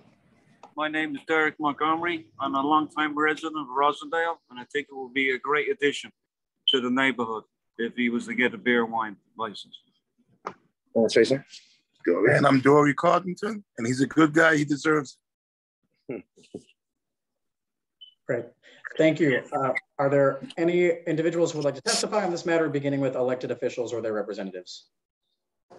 Good morning, members of the board. My name Hello. is Uzi from the Mayor's Office of Neighborhood Services. Um, we had an abutters meeting for 425 for Washington Street, and it was pretty split. Um, they had a huge group of supporters, but they also had a group of opposition who were from the liquor store further down the street. Um, specifically, let me see. They also sent in letters of their letters of support and a petition of opposition. So I'm not too sure how many are direct abutters to this store and who aren't. And within the community that are direct abutters, there was agreement, there was an agreement made with Diaz that there would be no signs, no neon signs on the storefront directly advertising alcohol. Yes, we do agree to that. Great. Thank you. Any other uh, elected officials or their representatives who would like to testify on this matter? Okay, I see a hand raised from Uma, Uma Vadher. Yes, hi. Can you hear me okay? We can hear you. Yes, good afternoon, Madam Chair and Board. Uh, this is Uma Vadher, and I am the owner of Roslindale Liquors, and we are located right across the Roslindale Variety Store. It's within a minute walk. Um, so I would like to strongly oppose to provide another beer and wine li licensing because we are already in this business and we are just right across like two blocks down than the Ros- Roslindale Variety Store. And I would say it's not only just Roslindale Liquors is nearby, but there are a couple of other liquor stores within the walkable distance to Roslindale Variety Store. So I strongly would like to request to the board to revisit the location uh, before making any decision and see whether there is a need. Is there any public need for a new beer and wine licensing while there is already a couple of liquor stores within a few blocks down? Uh, I know the COVID has made everybody's life upside down, and especially in the businesses. So I, I also request to support existing business as well. And I want to register my oppose for this new beer and wine licensing. Thank you. The next hand raised I see is from Pavan. If you could just please uh, identify yourself and unmute yourself.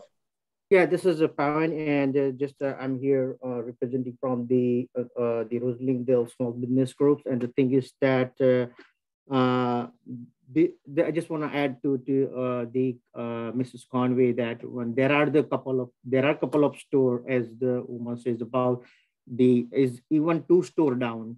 So there are few store and existing competition that that makes the businesses the uh, you know, and also the in order to support uh, opposition that there are 100 petition has been signed and sent it to the uh, the uh, the service of neighborhood and also if you like I'm, not sure the chairman and the board members and has received those opposition the petitions for the more than 100 members in order to opposing this one so on only pandemics like also uh, ruin the business and in addition to adding this business is also killing the existing business. This is not a survival mode of the existing business. So that also uh, would like to on the record to opposing this uh, uh, proposal for these uh, licenses.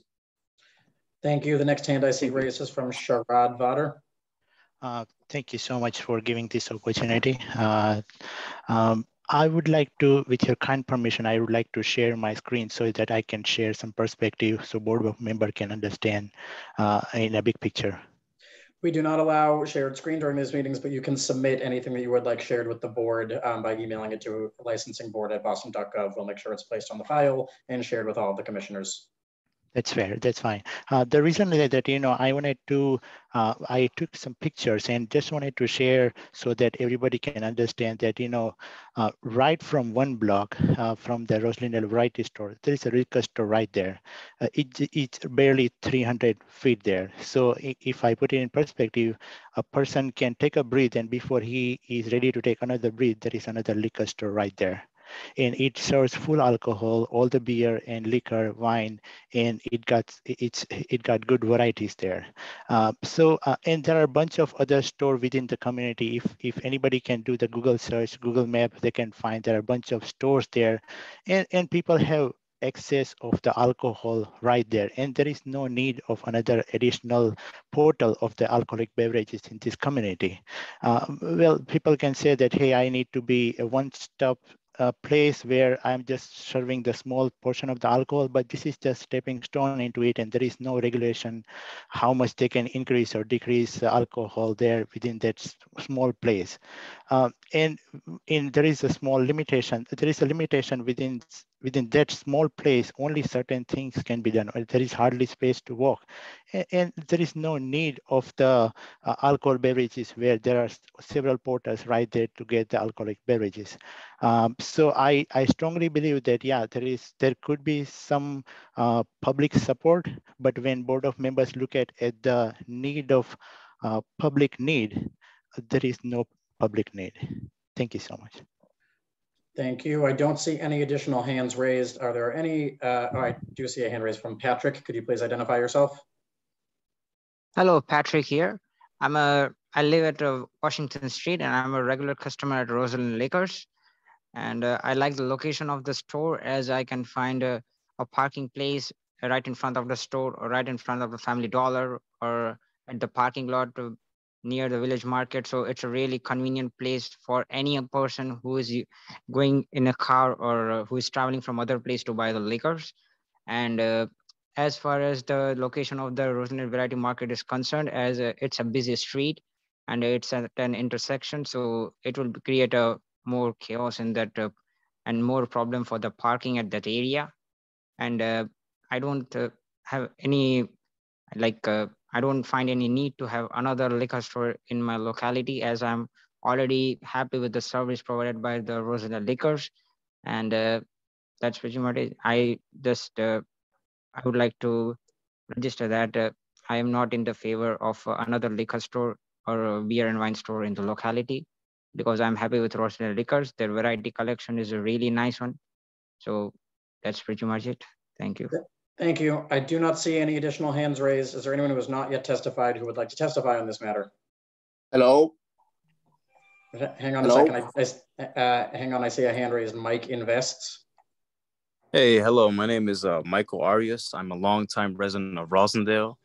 Um, I am in support of Roslindale Variety of acquiring their license to sell beer and wine. I just want to say that it's in a great position to sell and provide a further need of beer and wine because it is in a busy section of Roslindale. I just also want to say that um, I understand Roslindale's um, input.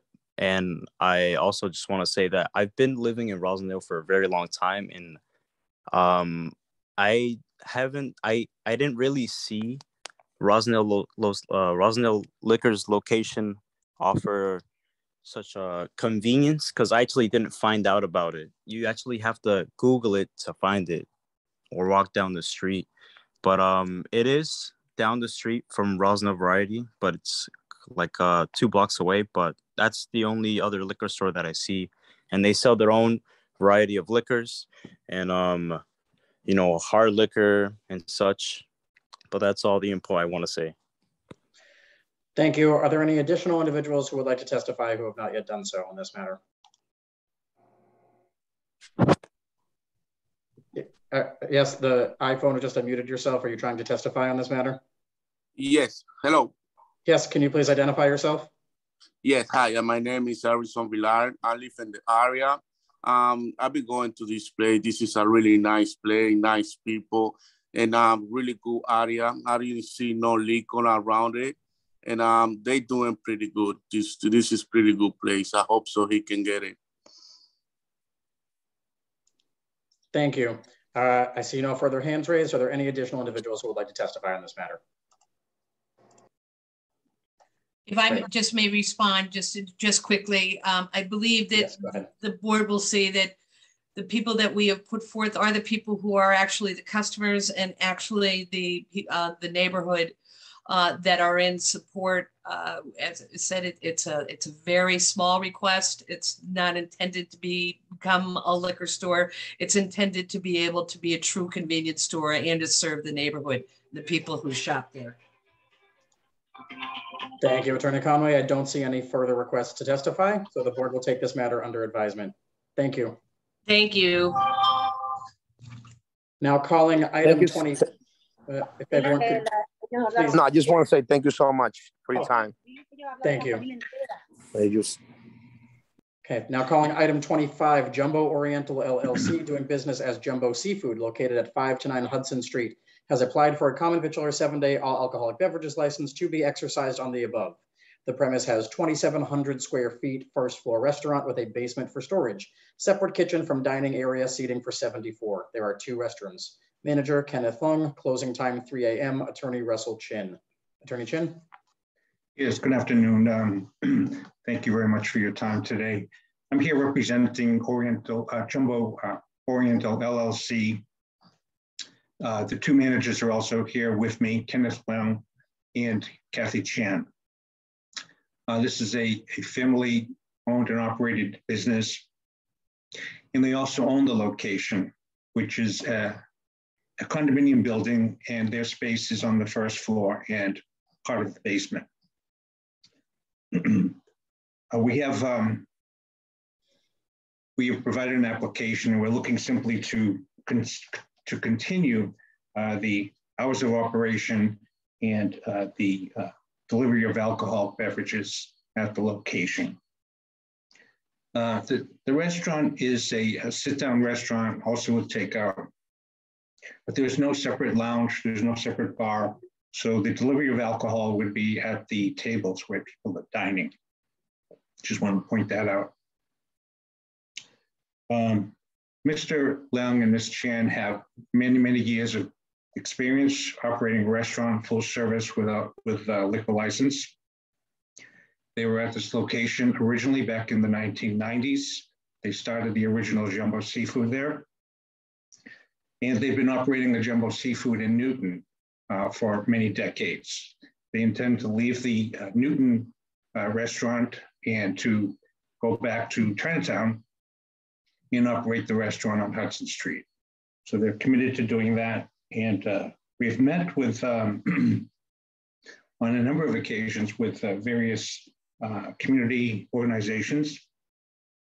We met with the Chinatown Neighborhood Council in October, the uh, Chinatown Residents Association in November, and the um, Office of Neighborhood Services in January. Uh, my understanding is that a number of letters have been submitted in support and that um, those that we have received uh, opposition from, we have also met privately with uh, on a number of occasions at their request. And uh, those, we believe the, that if there's opposition, it would be from other uh, condominium owners who are in the same building, as opposed to the community at large.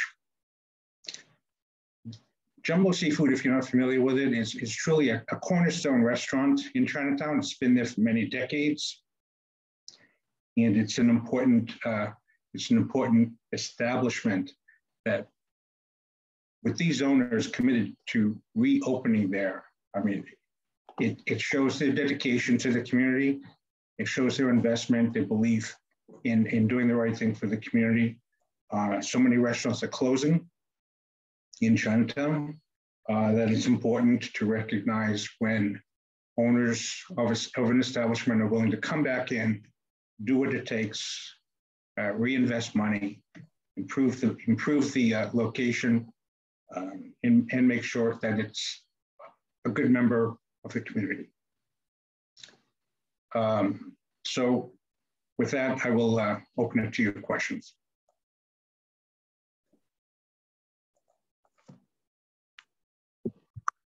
Sorry, thank you. I don't have any questions at this time. I reserve my right for afterwards. Commissioner Carr and Commissioner Saxon? I don't, thank you. Uh, same for me, thank you. Thank you. Are there any individuals who would like to testify on this matter, beginning with elected officials or their representatives? Yes, uh, good afternoon, Madam Chair, members of the board. Molly Griffin from the Mayor's Office of Neighborhood Services. We did host an abutters meeting on January 11th where the applicants presented their proposal, um, answered questions and concerns from neighbors. Um, there was a mixture, there was a lot of support at the meeting. There was some opposition from neighbors within the building. Um, at this time, I've received 15 letters of support, um, which I have forwarded over to the board just to make sure you guys have those as well. And one letter of opposition from the Chinatown Residents Association, which I believe the board also has. At this time, our office would like to defer to the board's judgment on this matter. Thank you. Thank you. Are there any other elected officials or their representatives who would like to testify before we open to general testimony? Good afternoon, Madam of the Chair, members of the board, Ana Calderon from Councillor Flynn's office. The councillor would like to go on record in, in opposition based on a strong opposition from neighbors and the community groups like the Chinatown Resident Association. Many neighbors and residents of the building has expressed concern regarding hours of operation and closing time, public health and pet, pest control, and other safety and quality of life issues. Councillor Flynn shares these concerns and is opposed. Thank you. Madam Chair, members of the board, Alicia Payne here on behalf of Councillor Flaherty, wishing to go on in record on, sorry, on record in opposition as well. Thank you very much. Thank you. Turning to general testimony, the first hand I see raised is from Stefano Monterosso. You may unmute yourself.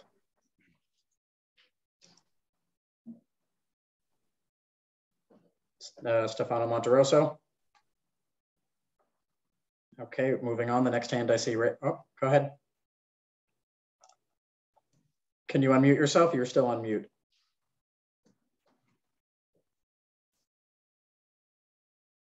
Uh, we're still on mute. We'll try to come back to you. All right, the next hand I see raised is from Debbie Ho. Good afternoon, Chairman um, and, and Madam Chair. My name is Debbie Ho. I'm from Chinatown Main Street. I'm the executive director there. And we'd like to go on record that we, um, although we know that there are many, has been many issues from the prior owner of the business, uh, we're in support of the uh, business um, opening to the new owners. Um, the issues, to health issues were all, had been an issue um, during the time of during the, uh, I guess when this uh, prior owner was in business. Um, and and uh, during the abutters meeting that I attended, um, I did not hear um, that a noise issue was a, a, problem.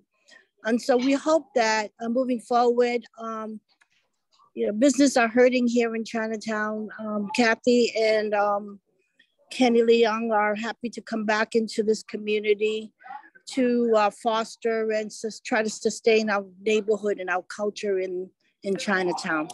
Thank you, I appreciate it. Thank you. Before we go back to uh, the rest of the testimony, I just want to make sure that Chairwoman Joyce covers the manager of record questions. I believe we, we skipped that. So um, Mr. Yes, Leung, sorry. Thank you. Mr. Mr. Um, Leung, the manager of record. I just want to get on the record the four manager of record questions. Um, are you a citizen? Can you unmute yourself?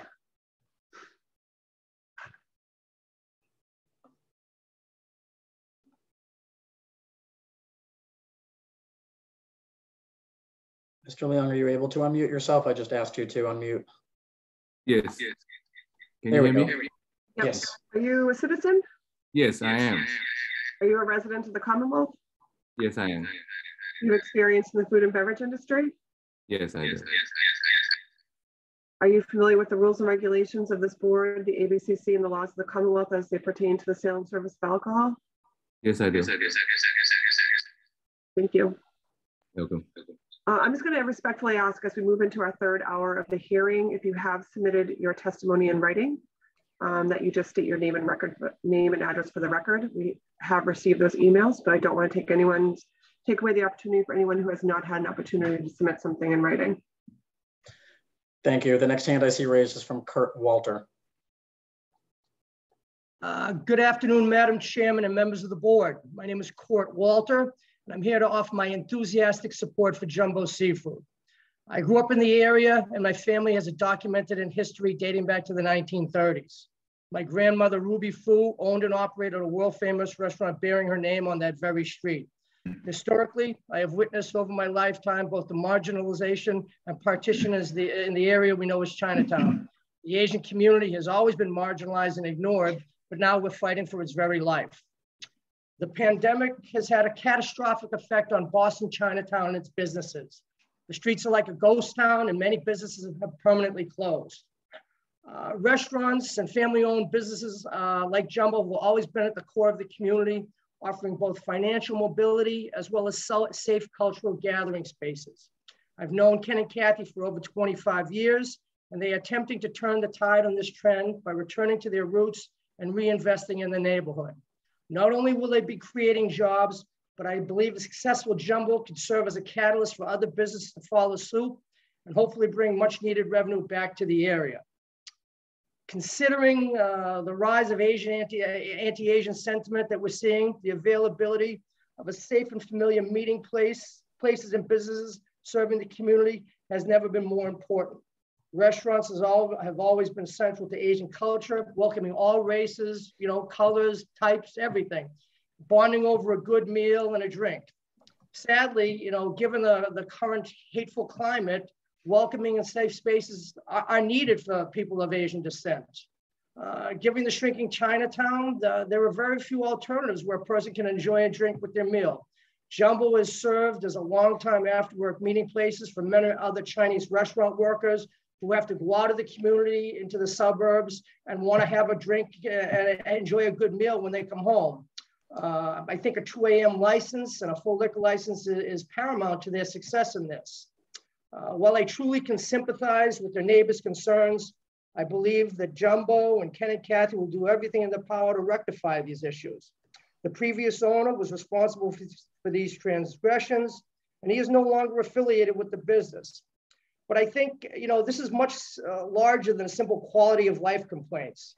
Uh, th these tenants made a ch conscious choice to move into an area that has historically been mostly dominated by food uh, uh related industries uh, and as well as its own prevailing cultural norms. But the fact remains that Chinatown is in life, on life support and it needs help. I believe that Ken and Kathy can breathe life back into the neighborhood and once again attract a wide and diverse client base. The original restaurant was considered by many to be a destination dining experience, a community meeting space, and I believe they can continue that tradition.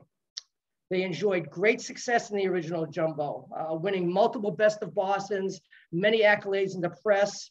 And uh, I think to truly compete and, and, and, and be successful, uh, you know, please grant them this license. I thank you for your time. Thank you. The next hand I see raised is from a phone number that ends in the digits 0842. Can you please identify yourself and unmute?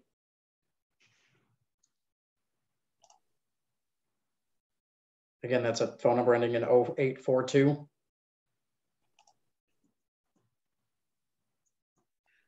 Okay, the next hand that I see raised is from Elaine Sang. Hi. Hi, can you hear me? Yes, we can hear you. Please identify yourself. Okay. Yes, my name is Ontario Gossage. Um, so, uh, good afternoon, Madam Chair. Thank you for the opportunity to address the board. Uh, I own a condo with 7 Hudson with my wife, and we live on the fourth floor above the applicant's restaurant. We are opposed to the liquor hours due to the late night hours. Uh, this is a building in which a majority of the condo are occupied by owners. The building also has families with children now. The restaurant has created a quality life issues including pests, roaches, uh, mice, as well as noise issues, air quality issues like tests with kitchen odors, and in some cases, restaurant workers and contractors smoking tobacco. Uh, my written testimony citations public sources detailing publicly available evidence of my complaints. I cannot support this applicant until they scale their closing hours back to midnight at minimum, settle unpaid code violations issued by the city of Boston's commercial space, improve life safety issues presented to the condo's residential owners, and work with the most impacted condo owners on building on quality of life issues. Code violations having been left unpaid for several years, giving the impression that the applicant will not be a responsible holder of a liquor license. I recommend the board reject this application and direct the applicant to have true and open dialogue with other owners in the building. We have support in imposing late hours from Chinatown Residents Association, Chinatown Residents Association, and several members of the Boston City Council. Uh, thank you for allowing me to address the board today. Thank you. The next hand we see raised is from Elaine Sang, and I would just like to reiterate from Chairwoman Joyce, if you have already submitted written testimony, please just state your name and address for the record. We have already received the written testimony if you've submitted it. Elaine Sang, uh, you may unmute yourself. Hi, good afternoon, everybody. Uh, my name is Elaine Sang. I live right on Hudson Street. I've been a longtime resident, and um, I am in support of the um, Ken and Kathy coming back into Chinatown um, to support us. Because as I've been going to this restaurant since I was a young girl with my family, I've also seen how the late, late, late night hours with the liquor license didn't bother anybody. They were actually very respectful of the of the neighborhood I don't know what other businesses you would want to be in that space, considering we all live in Chinatown and we know the climate um, and the environment. I would love to have a restaurant that is respectful to the neighborhood. Um, I moved into Chinatown because of the convenience. um, Chinese culture, we all eat late we all eat big meals with families. Everybody work. Nobody can come out to have family dinners at 7, 7 p.m. Not everybody can. And so that's why we have Chinese restaurants that, you know, support late hours and takeout and everything. I have two small children. I need late takeout. I'm just saying, we live in Chinatown. We're talking about pest control. That's a city problem it's not China, just Chinatown. It's not because it's just restaurant. So we have to be mindful of what we're really saying here. Um, thank you very much. Thank you. The next hand I see raised is from Jenny Wan.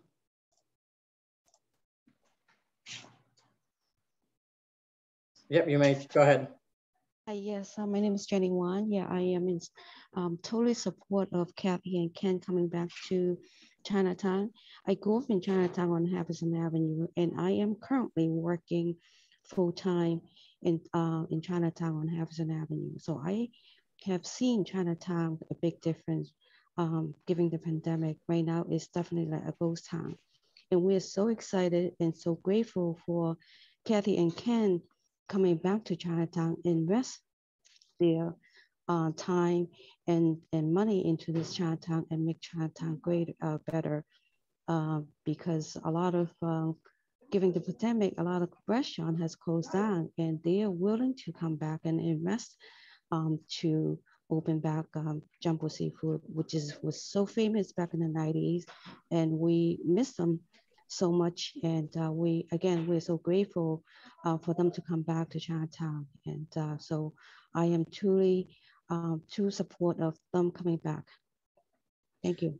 Thank you. Uh, I see a hand raised from Stefano Monterosso. Are you able to unmute yourself this time? Yes, I am. Good uh, afternoon. Thank you. Uh, good morning. And thank you for allowing me to provide my opinion. I would uh, welcome uh, a Chinese restaurant in the location. I'm a resident of the building. I own two units uh, on the last floor of the building.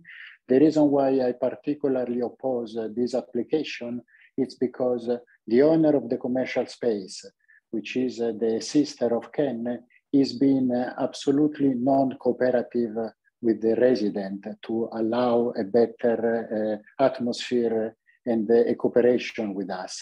Just to make an example, The restaurant has an exhaust vent system on the roof of the building.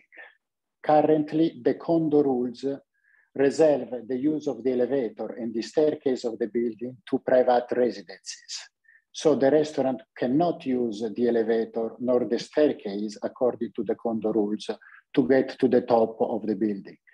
So they would not be able, if this is uh, the situation, to maintain the exhaust vent system, which is mandatory by, uh, by the law. Of course, they keep maintaining it because they violate the condo rules.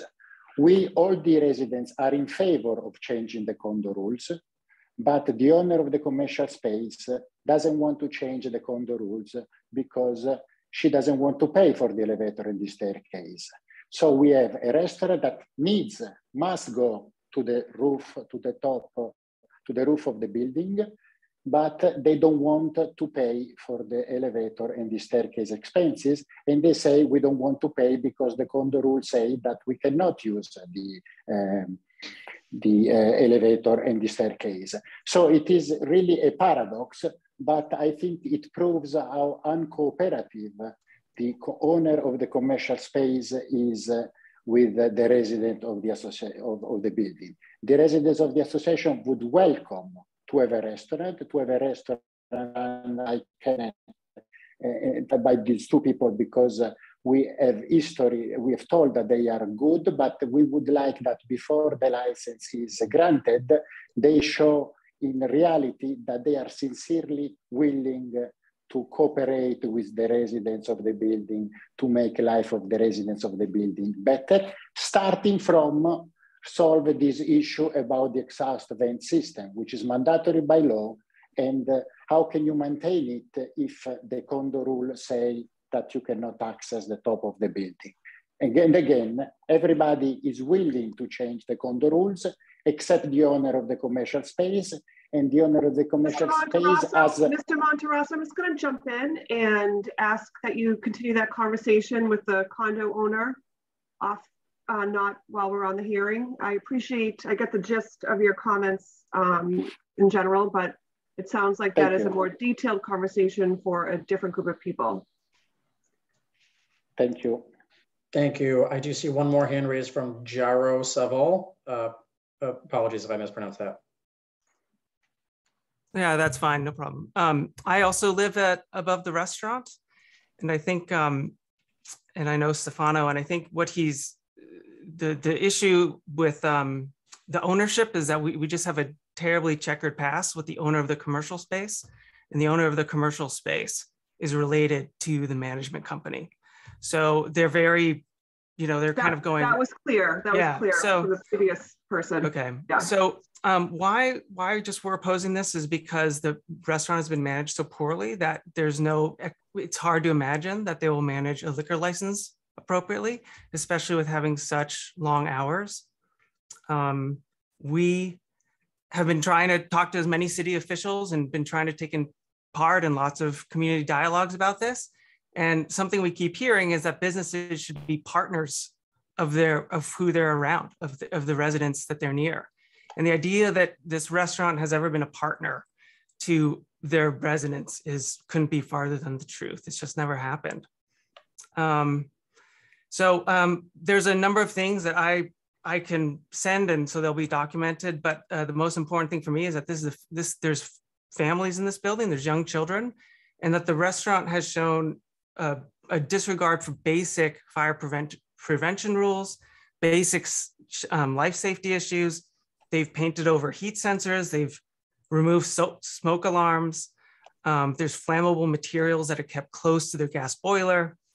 Um, restaurant machinery is plugged in with like extension cord to extension cord to extension cord.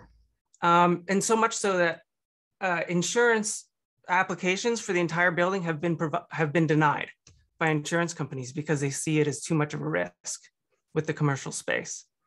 Um, there, we realize that we're in a highly uh, dense area with, um, you know, with restaurants, but there's just been such negligence with taking care of pests and taking and taking preventing workers from smoking in the building.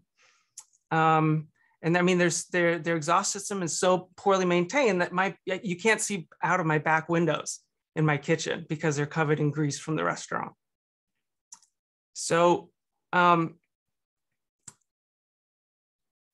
if um, you know, we've even actually been encouraged by some city officials that like this could be a case study for business owners with a lot of weight behind them trying to steamroll over residents because we can't, you know, we, we're trying to do everything we can to welcome a restaurant that would play by the rules.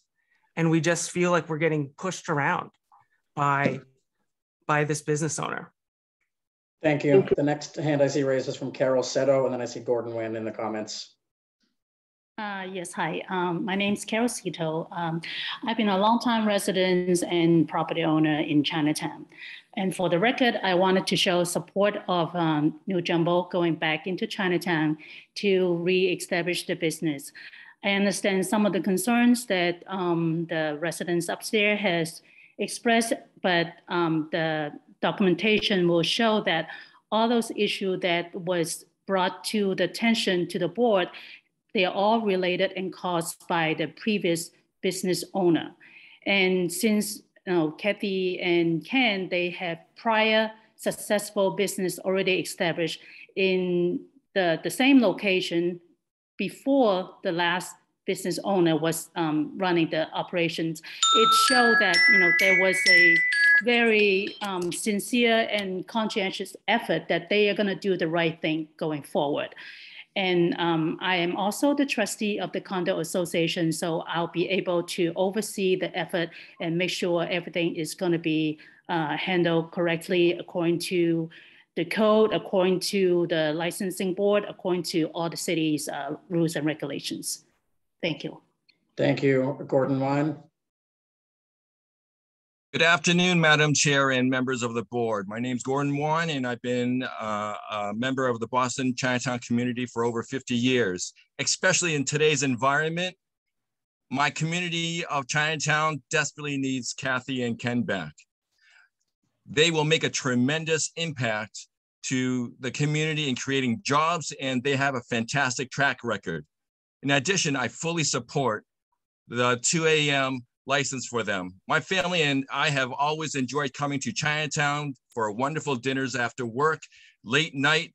And, you know, after nine o'clock at night, it's, I've never seen this in my life. It's a ghost town, as Kirk and Jenny has mentioned.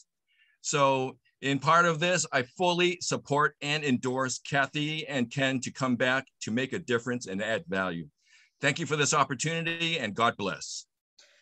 Thank you. I do not see any further hands raised or anyone signed up to chat. Last call. Is there anybody else who has not yet testified on this matter who wishes to do so? Seeing none, the board will take this under advisement. Thank you, everybody. Thank Calling you. item 26, Obverse LLC, doing business as Cafe Sauvage, located at 25 Massachusetts Avenue, has applied for a common victualler seven-day wines and malt beverages with liqueurs license to be exercised on the above. The entire first floor, approximately 1,000 square feet of 25 Mass Ave, seating capacity 38, including the basement area immediately con connected to the leased premise by a staircase. Manager Lunis Peter, closing time 12 a.m. Attorney Andrew Upton. Attorney Upton. Good afternoon, everyone. Uh, given the late hour, I will attempt to combine speed and precision Wow. in So my the guy, uh, one of the guys, in my presentation, and I've asked our supporters to do the same. Thank Uh, you. you, you, you can see hopefully on your screen at, at- on mine it's the uh, the three people in the bottom. Uh, two are the owners Antoine and Anais. Uh, and to the left in the white t-shirt is the proposed manager of record. That's Lunas Peter. He is a mass resident a US citizen. He has considerable experience serving and bartending in French restaurants in Boston uh, and he's familiar with the rules and regulations of the board. Uh, Cafe Sauvage is Boston's first and only multicultural French bistro. They combine French bistro cuisine with African, Asian, and continental influences, much as you might see in a modern bistro in Paris today. Uh, they're owned by Antoine and Anais. They are a husband and wife team. Uh, they have worked in some French restaurants uh, here in Boston and in other locations. They have a lot of experience. This is their dream restaurant, which they have opened about six months ago in the uh, space formerly occupied by a Chinese restaurant that went out of business. Uh, so their character and fitness to hold the license is strong. They've worked at Frenchie and Colette, two of the top uh, French restaurants in Boston. It has been their dream to own this place. They took a chance. They opened during COVID. This is a 1,000 square foot restaurant. Uh, it's not a big place. It's not a rowdy place. It's a neighborhood place. They have 13 tables, five seats at the bar. Uh, they've agreed with the Neighborhood Association of the Back Bay to close at midnight. Um, they've had a clean and successful operation so far. They've had some great newspaper reviews, which we have submitted to the board for the record, and business has been slowly building. Uh, the public need, as you know, combines the appropriateness of a license at this location along with the public want and the public sentiment. Uh, I believe there's little doubt that French bistro food is an appropriate location for the service of wine, beer, and cordials. Uh, this is a small place. It is a neighborhood place. It has a diverse ownership. It has become increasingly popular with neighbors, certainly not a chain of any kind. Uh, and beer, wine, and cordials would be the perfect match for the type of food they serve. Uh, as importantly, the neighborhood is in strong support. We have met with NAB. Uh, we have their non-opposition. Uh, we've agreed with them to close at midnight. Uh, we have several letters of support which have been submitted. We have what is a personal record that I've seen over 1,200 signatures on a petition, uh, many with favorable comments, both in English and French. Uh, so I believe the intent of the discretionary licenses that the board uh, may have at certain times to issue uh, is matched by this applicant. I mean, we are talking about economic development. We're talking about a small, unique operation. We're talking about diverse ownership with a husband and wife team. And we are talking about public need uh, writ large and at an extraordinary level. Um, they're looking for beer, wine, and cordials only. Uh, as you can see, we have in the thousands of supporters. And as far as I know, no opposition thus far. Uh, and with that, we're glad to answer any questions. Thank you, Attorney Upton. Thank you for laying out the elements of the manager record and for describing the public need. I'm going to turn to Commissioner Curran and Commissioner Saxon to see if they have any questions for you at this time. I do not. Thank you. I do not. Thank you. Thank you. Are there any individuals who would like to testify on this matter, beginning with elected officials or their representatives? Yes, good afternoon, Madam Chair, members of the board, Molly Griffin from the Mayor's Office of Neighborhood Services. Um, to reiterate what Attorney Upton just mentioned, they have received a vote of non-opposition from the Neighborhood Association of the Back Bay. Um, I have not received any opposition from the neighbors at this point. Um, I've received a few letters of support um, from the neighbors as well, and I have no concerns. Thank you. Oh, we defer to the board at this time. Sorry. Thank you. Are there any other elected officials or other representatives who would like to testify in this matter before we turn to general testimony? Great. The first uh, uh, testifier that has signed up is Nia Grace. Ms. Grace, you may unmute yourself. Thank you. Uh, good afternoon, Madam Chair, members of the board. My name is uh, Nia Grace. I'm the owner and operator of Darryl's Corner Bar and Kitchen, the Underground Cafe and Lounge, and co-founder of the Boston Black Hospitality Coalition. I am speaking in support of Cafe Sauvage's application for a seven-day wine, malt, beverage, and liquor license, uh, with the personal understanding that liquor licenses positively affect an operator's bottom line, and it increases their chance for success. The menu enhancement will uh, definitely help to increase check averages by at least 25%. It will allow the operators to offer another product with a better profit margin.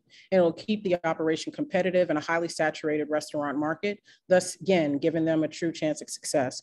I think that the public need is um, for entrepreneurs to be successful and this increases that. Thank you. Thank you. The next uh, hand I see raised is from Conrad Armstrong. Hi, everyone. Um, Conrad Armstrong from 439 Marlborough Street, representing the Neighborhood Association of Back Bay. Uh, the applicant met with us in December. Uh, they agreed to a midnight closing time, so the neighborhood association does not oppose them. Good luck.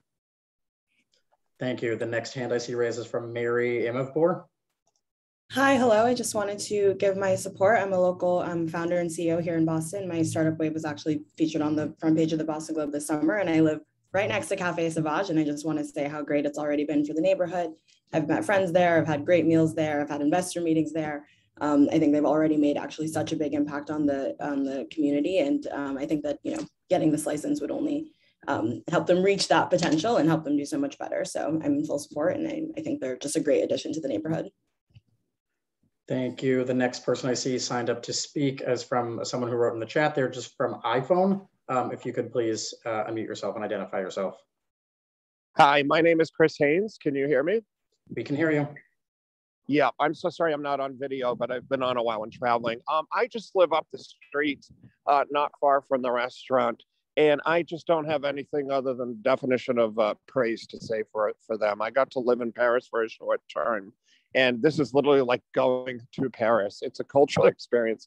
Everybody's speaking French, and uh, obviously a French uh, restaurant without wine is criminal. And um, I just think um, it's a necessary thing. And I just wanted, as a neighbor since the 90s, to uh, give my support. And I've been going there for uh, professionally and with friends. And it's just such a special place. And the enthusiasm in the neighborhood is, is uh, very excited. That's all. Thank you. And the final person who I see signed up to speak is Sandrine Rossi. Yes, hi, um, so my name is Sandrine Rossi. I'm an immediate neighbor of Café Sauvage. I live 31 Massachusetts Avenue. And it happens I'm the former boss of Antoine and Anaïs, uh, and I still work with Lunis. And uh, so I've known them for five years. And I know they're very professional and dedicated to their community. They've always taken good care of my restaurants. I have no complaints to make. And as a neighbor, which is very lucky, uh, I'm extremely happy that Café Sauvage is here. My husband and my 18 months old daughter go there almost every week, sometimes several times a week, because uh, it has a strong impact on the neighborhood. Uh, it's a very um, community-based space and a great place together with other people. Yes, I, I submitted a letter, so you can have my whole testimony in the letter.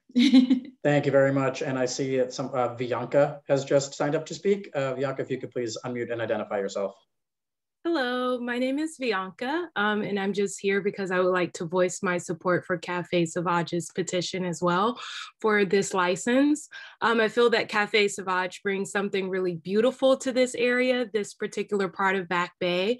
Um, and as a French and Black owned restaurant, they have brought a new concept and energy to the area that as a resident, I have really wished we had for a very long time. So I'm very happy that they're here.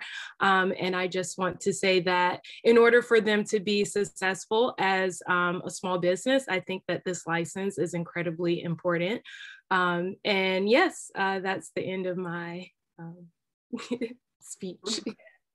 Thank you. I don't see any further hands raised or else signed up to chat. Just last call. Is there anyone else who has not yet testified who would like to provide testimony on this matter? Great. Uh, with seeing no further testimony, the board will take this matter under advisement. Now Merci calling. beaucoup. There you go.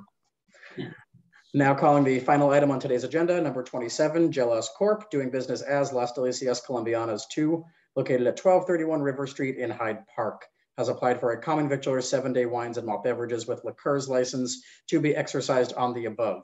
Premise contains one floor, approximately 850 square feet, one kitchen, seating capacity for 45, two bathrooms, one entrance exit. Manager Miguel Angel Gallego, closing time 11 p.m. Who is present on behalf of the applicant? That's me. How are you? Uh, good afternoon. Uh, my name is Miguel Gallego.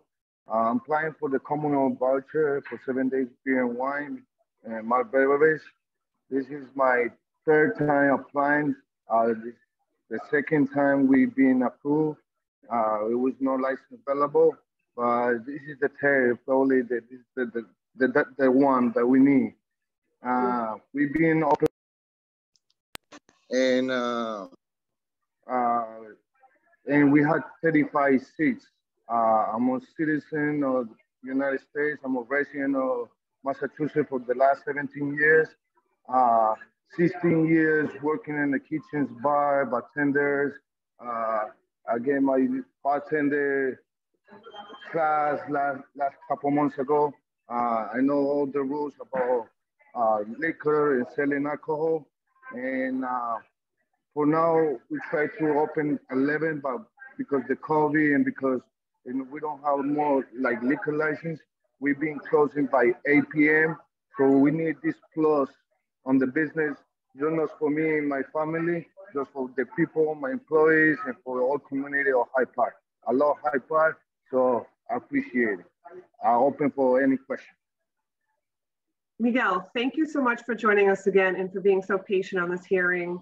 I do remember yes. your previous appearances before us. Um, it seems like this is sadly you're before us for the third time and you already know which questions we're going to ask. Um, so thank you for covering your own manager of record questions. Um, and um, I'm not going to, there's not much time, not much point right now in commenting on the status of licenses in the city. We always need more for, for small business, business people like you. Um, I'm going to ask Commissioner Saxon and Commissioner Curran if they have any questions for Miguel today. Additional questions, thank you. I do not, thank you. Thank you. Are there any individuals who would like to testify on this matter, beginning with elected officials or their representatives? Hi, good afternoon, Madam Chair, members of the board. This is Danielle Fonseca with the Mayor's Office of Neighborhood Services. Um, we met, excuse me, Miguel connected with immediate neighbors, um, businesses in Hyde Park Main Streets um, months ago uh, before we had met with the board previously. Um, he has been in this business as a manager for over four years and the owner of a restaurant uh, for almost a year. His goal is to bring more business to Hyde Park and continue to offer a family friendly environment during the community outreach process. In addition to connecting with the butters and main streets, he informed community stakeholders and neighborhood associations in the area. Um, this proposal has received several written letters of uh, support and phone calls expressing support for the restaurant. Um, we hosted an abutters meeting back in July. It was July 13th, where many residents um, just expressed how passionate Miguel is, caring and responsible business owner. Thank you. Thank you. Are there any other individuals who would like to testify on this matter today? I see a hand raised from Tian Simpson. Hello, my name is Tian Simpson. I am a resident of Hyde Park uh, for 24 years, and I want to let the board know that um, as a Hyde Park resident and working in Hyde Park as executive director for Hyde Park Main Street, we know that Miguel is very responsible business owner. He's very um, giving. Uh, he's involved with the community and uh, we love his family style restaurant. And so anything that can support him um, going through this, you know, pandemic time, he, uh, our small business are struggling, especially our restaurants. So if the board will continue their support for him to get a liquor license, we would appreciate it. Thank you. Thank you. Are there any other individuals who would like to testify on this matter?